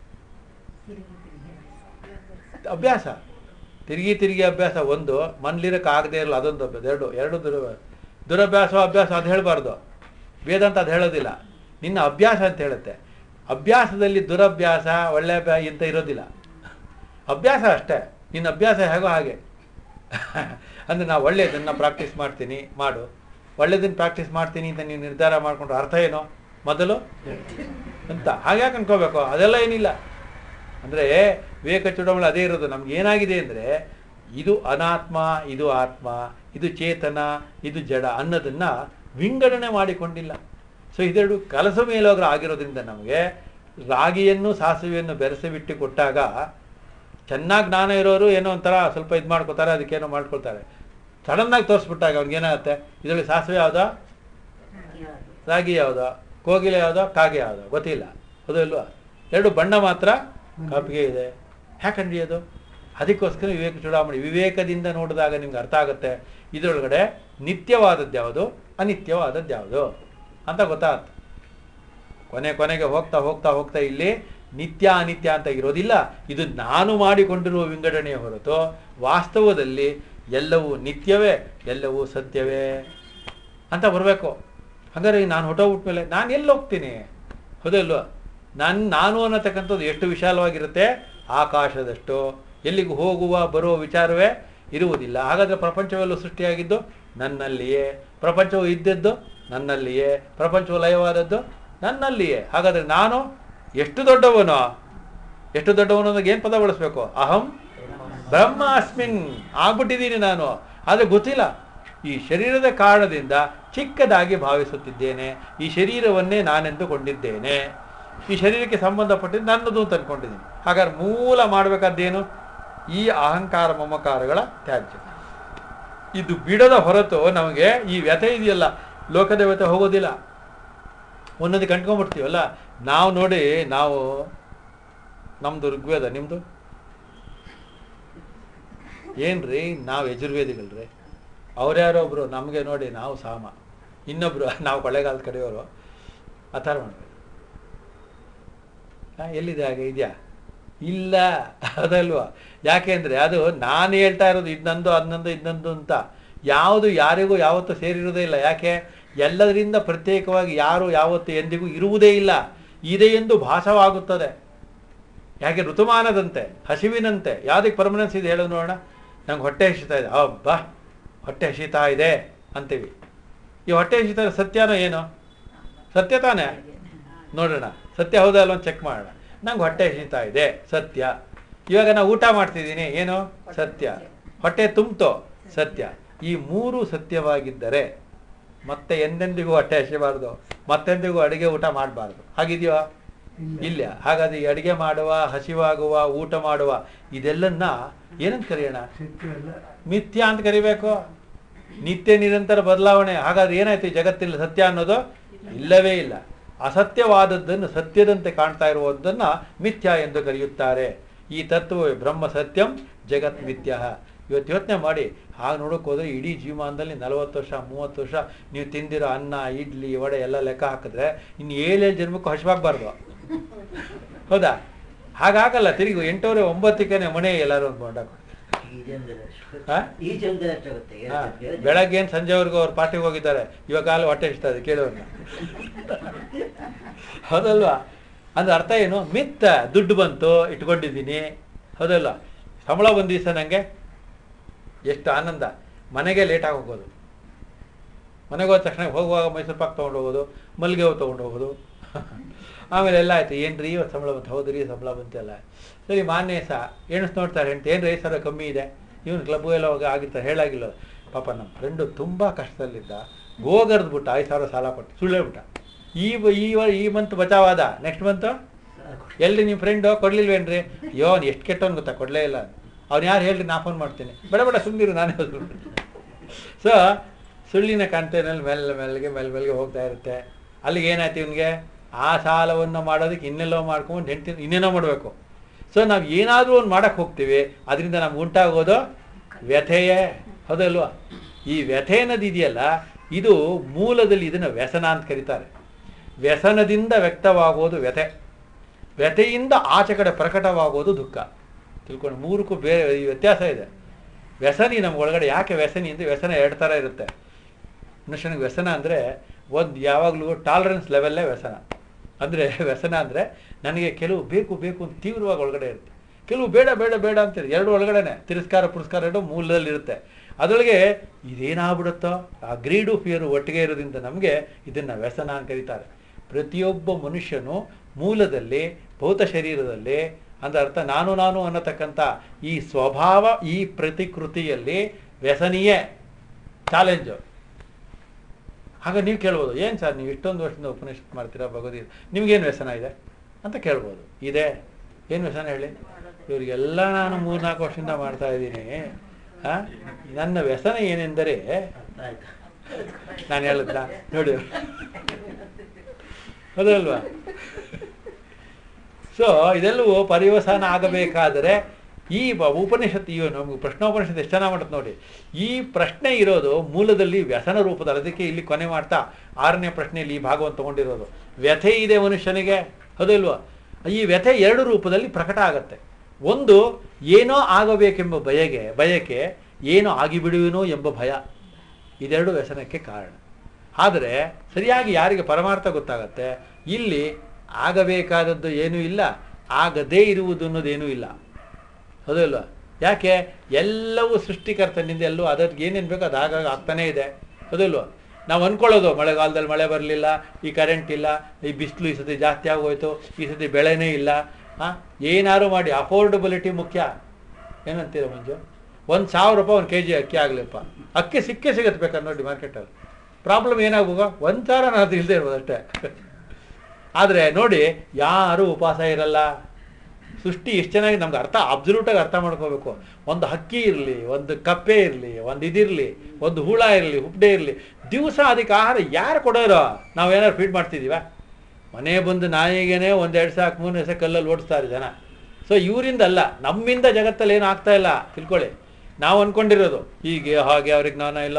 ನಾವು ಅವರಿಗೆಲ್ಲ ಉಪನಿಷತ್ತೆಲ್ಲ ಮಾಡಿಬಿಟ್ಟು ಇದೆಲ್ಲ ರೆಕಾರ್ಡ್ ಮಾಡಿ ಅವರಿಗೆಲ್ಲ ಕೊಟ್ಬಿಟ್ರೆ ಅವ್ರ ಬೋರ್ಡ್ ಹಾಕೊಂಡು ಓಡಾಡ್ತಿರ್ತಾರೆ. ಎಲ್ಲ ಸುಳ್ಳು. ಆ, ಸುಳ್ಳು ಅಂತ ಖಚಿತವಾದರೆ ನನ್ನ ವ್ಯಸನದ ತೀವ್ರತೆ ಕಮ್ಮಿ ಆಗ್ತಾ ಹೋಗುತ್ತೆ. ಹಾಗೆ ಇಲ್ವಾ? ನಿಮಗೂ ಹಾಗೇನೆ. ಏನಾರ ಆಗ್ಬಿಡಿ ಉಪನಿಷತ್ ಗೊತ್ತಾಗ ಕೊನೆ ದಿವಸ ಪ್ರಶ್ನೆ ಹಾಕಿ ನೋಡಿದ್ರೆ ಪ್ರಶ್ನೋಪನಿಷತ್ತು ಅನ್ನೋದು ದೊಡ್ಡ ಪ್ರಶ್ನೆಯಾಗಿ ನಿಂತಿದೆ. ಅದು ಏನೋ ಅವ್ರು ಏನೋ ಹೇಳ್ತಾ ಇದ್ರು ಅವಾಗ ಆ ಅಂತ ನಾವು ಕೇಳ್ತಿದ್ವಿ. ಅದು ಏನು ಕಥೆಯೋ ಏನೋ. ನಮಗೆ ಈ ವ್ಯಸನ ಅನ್ನೋದು ಹೋಗಲೇ ಇಲ್ಲ, ದುಃಖ ಹೋಗಲೇ ಇಲ್ಲ. ಮನೆಗೆ ಹೋದ ತಕ್ಷಣವೇ ಮಾಯ ಅನ್ನೋದಿದೆಯಲ್ಲ ಅದು ನಮಗೆ ಸ್ವಭಾವ ಏನಿದೆ ನಮ್ಮದು ಗುಣ ಏನಿದೆ ಅದು ಮೂರರ ಗುಣದಲ್ಲಿ ಯಾವುದೋ ಒಂದು ಪ್ರಧಾನವಾಗಿ ಅಲ್ಲಿ ನಮ್ಮನ್ನು ಕೆರಳಿಸಿ ಬಿಡುತ್ತದೆ. ಆ ಕೆರಳುವಿಕೆಯಲ್ಲಿ ಅರಳಿಸಿ ಬಿಡುತ್ತದೆ. ಅರಳಿಸಿ ಬಿಟ್ಟು ನಮಗೆ ಏನಾಗುತ್ತೆ? ಸಂಮೋಹನ ಕ್ರಿಯೆ ಮಾಡಿ ಬಿಡುತ್ತದೆ. ಅದಕ್ಕಾಗಿ ಆ ಥರ ಆಗ್ಬಿಡುತ್ತೆ. ಏನಾರಾಗಲಿ ನೋಡಿ, in I tell you in five years ಒಳಗಡೆ ನಾನು ಅಂತ ಅನ್ಕೋತಾ ಇರ್ತಾನೆ. ನಿಮಗೂ ಅನ್ಸಿರ್ಬೋದು, ಎಷ್ಟೋ ವಿಚಾರದಲ್ಲಿ ಹೌದಲ್ವಾ ಇದೊಂದು ವರ್ಷ ಕಳೆದಿ. You see in two thousand fifteen ಹಾಗೇ ಇರ್ತಾನೆ ತಿರುಗಿ. ಇನ್ನೂ ಪ್ಲಾನಿಂಗ್ ಮಾಡ್ತಾನೆ ಇರ್ತಾನೆ. ಏನೂ ಆಗೋದಿಲ್ಲ ಇಲ್ಲಿ. ಏನೋ ಆಗತ್ತೆ ಅಂತ ನಾವು ಅಂದ್ಕೊಂಡಿರೋದೆಲ್ಲನೂ ಅದು ಆಗ್ತಾ ಇದೆ ಹೋಗ್ತಾ ಇದೆ ಅಂತ ಅನ್ನೋದು ಕೂಡ ಅಲ್ಲೇ ಹೇಗೆ ಅಲೆ ಏರ್ತಾ ಇದೆ ಏರ್ತಾ ಇದೆ ಏರ್ತಾ ಇದೆ. ತಿರುಗಿ ಅಲೆ ತೆಳಗಡೆನೇ ಬೀರುತ್ತೆ. ಹೌದಲ್ವಾ? ಹೇಗೆಂದರೆ ಒಂದು ಸಣ್ಣ ಉದಾಹರಣೆ ಟೈಮ್ ಆಯಿತು. ಪರವಾಗಿಲ್ಲ. ಯಾಕೆ ಲೇಟಾಗಿ ಬಂದಿದ್ರೆ ಅನುಭವಿಸಿ. ಒಂದು ಸತಿ ಏನಾಗುತ್ತೆ, ಒಂದು ಪುಟ್ಟ ಹಕ್ಕಿ, ಒಂದು ಸಮುದ್ರದ ತೀರದಲ್ಲಿ ಒಂದು ಸೊಳ್ಳೆ, ಒಂದು ಹಕ್ಕಿ, ಇದೆಲ್ಲ ಓಡಾಡ್ತದೆ. ಒಂದು ಹಕ್ಕಿ ಸ್ವಲ್ಪ ಮೇಲಕ್ಕೆ ಹಾರುತ್ತೆ ತೆಳಗಡೆ ಬಿಡುತ್ತೆ. ಇನ್ನೊಂದು ಕಾಗೆ ಥರ ಸ್ವಲ್ಪ ಮೇಲಕ್ಕೆ ಹೋಗುತ್ತೆ ತೆಳಗಡೆ ಇಳಿಯುತ್ತೆ. ಆವಾಗ ಅವೆಲ್ಲ, ನನಗಿಂತ ನೀನು ಪರವಾಗಿಲ್ಲ, ನನಗಿಂತ ನೀನು ಪರವಾಗಿಲ್ಲ ಅಂತ ಈ ಲೋಕದಲ್ಲಿ ನಾವೆಲ್ಲ ಮಾತಾಡ್ಕೊಂಡಾಗ, ನೀವು ಎಷ್ಟು, ಇಷ್ಟು ಚಿಕ್ಕ ವಯಸ್ಸಿಗೆ ಎಷ್ಟೊಂದು ಓದ್ಕೊಂಡ್ಬಿಟ್ಟಿದ್ಯಪ್ಪ ಇಷ್ಟು ಚಿಕ್ಕ ವಯಸ್ಸಿಗೆ ನೀನೇನಪ್ಪ ಎಷ್ಟೊಂದು ಬಿಲ್ಡಿಂಗ್ ಕಟ್ಬಿಟ್ಟಿದ್ಯಪ್ಪ? ಆಗಲೇ ಎಂ ಡಿ ಆಗ್ಬಿಟ್ಟಿದೆ ನೀನು ಪಿ ಎಚ್ ಫಾರಿನ್ಗ್ಲ ಹೋಗಿ ಬಂದೆ ಥರ ಆಡ್ತೀವಲ್ಲ? ಅದೇ ಥರ ನಮ್ಮ ಉಪನಿಷತ್ತುಗಳಲ್ಲೂ ಕಥೆ ಇದೆ. ಒಂದು ಪುಟ್ಟದೊಂದು ಚಿಟ್ಟೆ ಹಾರಿದಾಗ ಇನ್ನೊಂದು ಹಕ್ಕಿ ಮೇಲಾಗತ್ತೆ. ಏನು, ನಾನು ಹೇಗೆ ಅಂತ ಕೇಳುತ್ತೆ. ಚಿಟ್ಟೆ, ನನಗಿಂತ ನೀನು ಚೆಂದ, ನಾನು ಕಂಡರೂ ಕೂಡ ನಿನ್ನಷ್ಟು ಮೇಲೆ ಹಾರುವಷ್ಟು ಶಕ್ತಿ ನನಗಿಲ್ಲ. ಸ್ವಲ್ಪ ತಾತ್ಲಾದ ಹೇಗೆ ಹೀಗೆ ತಿರುಗ್ತಾರೆ, ತಿರ್ಗಿ ಕಾಲು ಸುಸ್ತಾದ್ರೆ ತಲೆಗಿಳಿಯುತ್ತೆ ಇದೆಲ್ಲ ಹೀಗೆ ಪಕ್ಷಿಗಳು ಇದೆಲ್ಲ ಮಾಡ್ತಾ ಇರೋದು ನೋಡ್ತಾನೆ ಗರುಡ ರಾಜ. ಗರುಡ ಇದ್ದಾನೆ, ಹೌದಾ? ವಿಷ್ಣುವಿಗೆ ವಾಹನ ಅವನು. ಇದೆಲ್ಲ ನೋಡಿ ಹೇಳ್ತಾನೆ, ಏನು ಪಕ್ಷಿಗಳ ನೀವು? ಏನು ಒಂದು ಕಾಲಲ್ಲಿ ನಿಮಗೆ ತ್ರಾಣನೇ ಇಲ್ಲ. ರೆಕ್ಕೆಯಲ್ಲಿ ಬಲ ಇರಬೇಕು ಹೌದಲ್ವ? ಆಕಾಶವನ್ನು ಮುಟ್ಟಿ ಬರ್ತೇನೆ, ಏನು ಚಾಲೆಂಜು ನಮ್ಗೆ ಅಷ್ಟು ಶಕ್ತಿ ಇಲ್ಲ ನಾವು ಅಷ್ಟೊಂದೆಲ್ಲ ಇಲ್ಲ, ನಮ್ಮ ಪಕ್ಷಿಗಳಿಗೆಲ್ಲ ರಾಜ ನೀನು, ನಿನಗಾದರೂ ಆಗ್ಬೋದು. ನೀನು ಆಕಾಶವನ್ನು ಮುಟ್ಟಿ ಬಾ. ನೀನು ಆಕಾಶವನ್ನು ಮುಟ್ಟಿದರ ಅನುಭವ ನಮ್ಗೆ ಹೇಳು. ನಿನ್ನಿಂದ ಕೇಳಿ ನಾವು ಸಂತೋಷವಾಗ್ತೀವಿ ಅಂತ ಪ್ರಾರ್ಥನೆ ಮಾಡುತ್ತೆ. ಸೊ ಗರುಡ ತನ್ನ ಬಲವನ್ನು ಬಿಟ್ಟು ಹಾರ್ತಾನೆ. ಹಾರಿದ ಹಾರಿದ ಹಾರಿದ ಹಾರಿದ. ಮೇಲಿಕ್ಕೆ ಎಷ್ಟು ಎಲ್ಲರಿಗಿಂತ ಮೇಲಾರಕ್ಕಾಗತ್ತೆ ತಾನೇ ಗರುಡಂಗೆ? ಒಪ್ಕೋತಿರೋ ಇಲ್ವಾ? ಅದಕ್ಕಿಂತ ನೀವು ಜಾಸ್ತಿ ಹಾರ್ತಿರೋ ಹಾರಿದ್ರು ಕೂಡ ಅದಕ್ಕೆ ಏನಾಯ್ತು? ಆಕಾಶ? ಇವಾಗ ದುಃಖ ಆಯ್ತು ಅದಕ್ಕೆ. ಇವಾಗ ಸಿಕ್ಲೇ ಇಲ್ಲ ಇಷ್ಟೊಂದು ಪ್ರಯತ್ನ ಪಟ್ಟರು ಜೊತೆಗೆ ಕೆಳಗಡೆ ಇಳಿಬೇಕು ತಿರ್ಗಾ. ಅದಲ್ವಾ ಹೇಗೋ ಸಾಹಸ ಪಟ್ಕೊಂಡು ಏನೋ ಮಾಡಿ ಇಳಿಯಿತು. ಅತ್ಯಂತ ವಿನಯದಿಂದ ಹೇಳಿತು. ಮಿತ್ರರೇ, ನೀವೇ ವಾಸಿ. ಏಕೆ? ಅದೊಂದು ಇದೆ ಎಂದು ತಿಳಿದು ನಮ್ಮ ಕೈಯಲ್ಲಿ ಆಗೋದಿಲ್ಲ ಅಂತ ಸುಮ್ಮನೆ ಆಗ್ಬಿಟ್ರಿ. ಅದನ್ನ ಅದನ್ನು ಪ್ರಯತ್ನ ಪಟ್ಟೆ. ಏನು ಸಿಗಲೇ ಇಲ್ಲ. ಹೌದಲ್ವಾ ಆಗ ಅದಕ್ಕೆ ವಿರುದ್ಧವಾಗಿ ಒಂದೊಂದು ಪುಟ್ಟ ಕಥೆ ಸೇರಿಸಿ. ಹೇಳಬೇಡುವ? ಮುಂದಿನ ವಾರ ಉಪನಿಷತ್ ಮುಗಿದೋಗುತ್ತೆ. ಆಗ ಒಂದು ದೊಡ್ಡ ಹಡಗು, ಒಂದು ದೊಡ್ಡ ಹಡಗಿನಲ್ಲಿ ಹೀಗೆ ಒಂದು ಹದ್ದು ಅಥವಾ ಒಂದು ಗರುಡ ಏನು ಮಾಡಿಯಾನೆ? ಆ ಹಡಗಿನ ಮಧ್ಯದಲ್ಲಿ ಒಂದು ಕಬ್ಬಿಣದ ಕಂಬ. ಅದರ ಮೇಲೆ ಕೂತಿದೆ, ಕಣ್ಣು ಮುಚ್ಚಿದೆ, ನಿದ್ದೆ ಮಾಡ್ತಾ ಇದೆ. ನಾವು ಸಮ, ನಾವು ಹೇಗೆ ಸಂಸಾರದಲ್ಲಿ ಸರ್ ದುಡ್ಡಿದೆ, ಕಾಸು ಸುಖವಾಗಿದ್ದೀವಿ ಅಂತ ನಿದ್ದೆ ಮಾಡಿಬಿಡ್ತೀವೋ? ಇದೆಲ್ಲ ಯೋಚನೆ ಮಾಡ್ದೇನೆ. ಸ್ಲೀಪಿಂಗ್ ಓವರ್ ಮ್ಯಾಟರ್ ಅದು ಕೂಡ ಮಲಗು. ಗೊತ್ತಿಲ್ಲ ಅದಕ್ಕೆ ಡುಗು ಡುಗು ಡುಗು ಅಂತ ಹಡಗು ಹೊರಟ್ಬಿಡ್ತು. ಮಧ್ಯದಲ್ಲಿ ಸಮುದ್ರ ಮಧ್ಯದಲ್ಲಿ ಕಣ್ಣು ಬಿಡ್ತದೋ ಸುತ್ತಲೂ ನೋಡ್ತು, ಏನಿದೆ? ನೀರು. ಇಲ್ಲಿಂದ ಹಾರಿದರೆ ಇನ್ನೊಂದು ಕುಳಿತುಕೊಳ್ಳುವ ಜಾಗ ಅದಕ್ಕೆ ಯಾವುದಾಗಿರ್ಬೇಕು ಮರ ಆಗಿರ್ಬೇಕು. ಅಥವಾ ಇನ್ನೊಂದು ಕಂಬ ಆಗಿರ್ಬೇಕು. ಎಷ್ಟು ದೂರ ನೋಡಿದರೂ ನೀರೇ. ನೋಡೇ ಬಿಡೋಣ ಅಂತ ಪೂರ್ವಕ್ಕೆ ಹಾರಿತು. ಅಷ್ಟು ದೂರ ಹಾರ್ತು, ಇದು ಗುರ್ತಿಟ್ಕೊಂಡು. ಎಲ್ಲೂ ಏನು ತಕ್ಕಂತ ಬಂದು ಈ ಕಂಬ ಮೇಲೆ ಕುತ್ಕೊಂಡ್ಬಿಟ್ಟು ಪಶ್ಚಿಮಕ್ಕೆ ಹಾರಿತು, ಮತ್ತೆ ಬಂದಿತು. ಉತ್ತರಕ್ಕೆ, ದಕ್ಷಿಣಕ್ಕೆ ಹಾರಿತು, ಮತ್ತೆ ಬಂದಿತು. ಅವಾಗ ಯೋಚನೆ ಮಾಡ್ತು. ಈಗ ನಾನೇಕೆ ಶ್ರಮ ಪಡಬೇಕು? ಹೇಗಿದ್ದರೂ ಈ ಹಡಗು ಒಂದಲ್ಲ ಒಂದ್ಸತಿ ಹೋಗಿ ಅಲ್ಲಿ ದಡದಲ್ಲಿ ನಿಲ್ಲುತ್ತದೆ ಅಂತ ತಿರ್ಗಾ ಮಾಡಿ. ಆ ಹಡಗ ಅಲ್ಲಿ ದಡಕ್ಕೆ ಹೋದಾಗ ನೋಡ್ತು ಮರ ಇತ್ತು. ತಕ್ಷಣ ಇಲ್ಲಿಂದ ಹಾರಿತು, ಅಲ್ಲಿ ಕೂತ್ಕೊಂಡೆ. ಅದಲ್ವ ಅಂತಹ ಆಶ್ರಯವೇ ಈ ಉಪನಿಷತ್ತುಗಳು, ಈ ವೇದಗಳು, ಈ ಗುರು ಪರಂಪರೆ, ಈ ಭಗವದ್ಗೀತೆ, ಪ್ರಸ್ಥಾನತೆಯ ಬ್ರಹ್ಮಸೂತ್ರ. ಅದರಲ್ಲಿದ್ದು ಬಿಟ್ಟು ಅದರಲ್ಲೇ ನಾವು ಮುಳುಗಿ ಬಿಟ್ಟರೆ ಅದು ನಮ್ಮನ್ನು ತೇಲಿಸುತ್ತಾ ತೇಲಿಸುತ್ತಾ ದಡ ತೋಟ ಹೋಗುತ್ತೆ. ಅದು ನಮಗೆ ಇಲ್ಲಿ ತನ್ಮಯತೆ ಇಲ್ಲ. ತನ್ಮಯತೆ ಇಲ್ಲ ಅಂದ್ರೆ ಏನರ್ಥ? ಇದನ್ನೇ ಬೇರೆ ಬೇರೆ ಕಡೆಯಲ್ಲಿ ಕಾಣತಕ್ಕಂಥ ಸಾಮರ್ಥ್ಯ, ಯೋಗ ಭಾವ ಬೆಳೆಸಿಕೊಳ್ಳಬೇಕು ಅನ್ನೋದು ಪ್ರಶ್ನೋಪನಿಷತ್ತಿನಲ್ಲಿ ನಾನು ಕಂಡ ಸತ್ಯ. ನೀವು ಅದನ್ನು ನೋಡಬೇಕಾದದ್ದು ಅದರಲ್ಲಿಯೂ ಇರತಕ್ಕಂಥ ನೋಡಿಕೊಂಡರೆ ತಕ್ಷಣವೇ ಈ ಮನಸ್ಸಿರತಕ್ಕಂಥ ವ್ಯಸನ, ವ್ಯಸನದಿಂದ ಉಂಟಾಗುವ ವ್ಯಥೆ ವ್ಯಥೆಯಿಂದ ಉಂಟಾಗತಕ್ಕಂಥ ಕಣ್ಣೀರು ನಿಲ್ಲುತ್ತದೆ. ನಿಲ್ಲಬೇಕು. ಹೌದಲ್ವಾ ಅವಾಗ ಹೇಗಿರುತ್ತೆ? ಇಡೀ ಬದುಕು ನಿಮಗೆ ಸುಂದರ ಸ್ವಪ್ನಗಳು. ಹಾಂ? ಹೌದಲ್ವಾ ಅದಕ್ಕೋಸ್ಕರ ಇದೆಲ್ಲ ಎಷ್ಟೇ ಚೆನ್ನಾಗಿ ಡ್ರೆಸ್ ಮಾಡ್ಕೊಂಡು ಗುಲಾಬಿ ಇಟ್ಕೊಂಡ್ರು ಈ ವೇದಾಂತ ಗಿದಂತೆಲ್ಲ ಸೆಂಟ್ ಇದ್ದಾಗ ಚರ್ರ ತೊಡ್ಕೊಂಡು ಹೊಟ್ಟೋಗ್ಬೇಕು ಆಚೆಗೆ. ಹೌದಲ್ವಾ ಎಲ್ಲ ಘಮ್ ಅಂತ ಇರ್ತೀರ? ಸ್ವಲ್ಪ ತಾದ್ರೂ ಪುರ ಇಲ್ಲ ಬೇಗ ಮನೆಗೆ ಹೋಗ್ಬಿಟ್ರೆ ಅದಕ್ಕೋಸ್ಕರ ಈ ಜಗತ್ತಿನಲ್ಲಿ ಅವತಾರಗಳು, ರಾಕ್ಷಸರು, ಅವರು ಕೇಳಿದ ವರಗಳೆಲ್ಲವನ್ನು ಉದಾಹರಣೆ ಉದಾಹರಣೆ ಕೊಡ್ತಾರೆ. ಅದರಿಂದ ನಾನು ನಾವು ಇವತ್ತಿಲ್ಲಿಗೆ ಈ ಪ್ರಶ್ನೆಗೆ ನಿಲ್ಲಿಸೋಣ ಮುಂದಿನ ವಾರ ಇದರ ಕಥೆಯ ಉಪಸಂಹಾರ ಅಂತ ಮಾಡ್ಯಾರೆ. ಅಂದರೆ ಇದು ಎಲ್ಲಿಂದ ಶುರುವಾಗಿದ್ದಿದ್ದು ಕಥೆಯಿಂದ ಶುರುವಾಗಿದ್ದು ಪ್ರಶ್ನೋಪನಿಷತ್ ಶುರುವಾಗೋದು ಎಲ್ಲಿಂದ? ಕಥೆಯಿಂದ ಇಲ್ಲಿಗೆ ಪ್ರಶ್ನೆ ಮುಗೀತು, ಆದರೆ ಕಥೆ ಇನ್ನೂ ಮುಗಿದಿಲ್ಲ. ಯಾಕೆ? ಕಥೆಯ ಮೊದಲು ನಮಗೆ ವ್ಯಥೆ ಇದೆಯಲ್ಲ. ಈ ವ್ಯಥೆಯನ್ನು ಹೋಗಲಾಡಿಸುವುದಕ್ಕೆ ಈ ಗ್ರಂಥದ ಕೊನೆಯ ಭಾಗ ಕಥೆ ಏನು, ಕಥೆ ಎನ್ನೋದೇನು ಉಪಸಂಹಾರ ಮಾಡ್ತಾರೆ. ಮುಂದಿನ ವಾರ ನಾವು ಇದನ್ನು ಪ್ರಶ್ನೋಪನಿಷತ್ತನ್ನು ಮಂಗಳ ಮಾಡೋಣ ಉಪಸಂಹಾರ ಮಾಡೋಣ ಅಲ್ಲಿಗೆ ನೀವೆಲ್ಲರೂ ಮುಕ್ತರಾಗ್ತೀರಿ ಸದ್ಯ ಬಿಟ್ಟರೆ ಸಾಕು ಅಂತ ಅನಿಸಿದರೆ ಮುಂದಕ್ಕೆ ತೀರ್ಮಾನ ಮುಂದಿನ ವಾರ ಮಾಡೋಣ. ಯಾಕೆ ಅದು ಅರ್ಜೆಂಟೇನು ಅಂತ ಹೇಳಿ ನಾವು ಇವತ್ತು ನನ್ನ ವಾಣಿಯನ್ನು ಮುಗಿಸ್ತಾ ಇದ್ದೀನಿ. ಆ ಇನ್ನೆರಡನೇ ಹೇಳಿಬಿಡಿ. ಪುರುಷನನ್ನು ಅರಿತುಕೊಳ್ಳದಿದ್ದರೆ. ಮೃತ್ಯು ನಿಮಿತ್ತವಾದ ವ್ಯಥೆಯನ್ನು ಹೊಂದಿ ನೀವು ದುಃಖಿಗಳಾಗಿಯೇ ಇರುವಿರಿ. ಆದ್ದರಿಂದ ಅದು ನಿಮಗೆ ಆಗದೇ ಇರಲಿ ಎಂದು ಅಭಿಪ್ರಾಯ. ಅಷ್ಟೇ ಇಷ್ಟ ತನಕ ಹೇಳಿದ್ದು ದುಃಖವಾಗದೇ ಇರಲಿ, ಇರುವಾಗ ತಾನೇ ನಮಗೆ ದುಃಖದ್ದು ಅಂತ ಮಾತಾಡೋದಲ್ಲ, ಅದು ಆ ನಿರ್ವಚನದಲ್ಲಿ ಶಂಕರ ಭೂತ್ಪಾದರು ಕೊನೆ ಎರಡು ವಾಕ್ಯಗಳನ್ನು ಬರೆದಿದ್ದಾರೆ. ಸರಿಯಾಗಿದೆಯಾ? ಗುಣ ನಮ್ಗೆ ಯಾಕೆ ಅವ್ರು ಬರೆದಿರೋದು? ಅಲ್ಲ ಉಪನಿಷತ್ತು ಇರೋದು. ಇದನ್ನು ಮೆಲ್ಲ ಮೆಲ್ಲಗೆ ಮೆಲುಕು ಹಾಕೋಣ. ಅವಾಗ ನಮಗಿದೇನು ಅಂತ ಗೊತ್ತಾಗತ್ತೆ ಅಂತ ಹೇಳಿ ಮುಂದಿನ ಮಂತ್ರ ಏನಿದೆ ನೋಡಿ, ಮತ್ತೆ ಮಂಗಳಾಚರಣೆ ಮಾಡೋಣ. तान् होवाच तान् ोवाच वाच एतावदेवाहमेवाहमे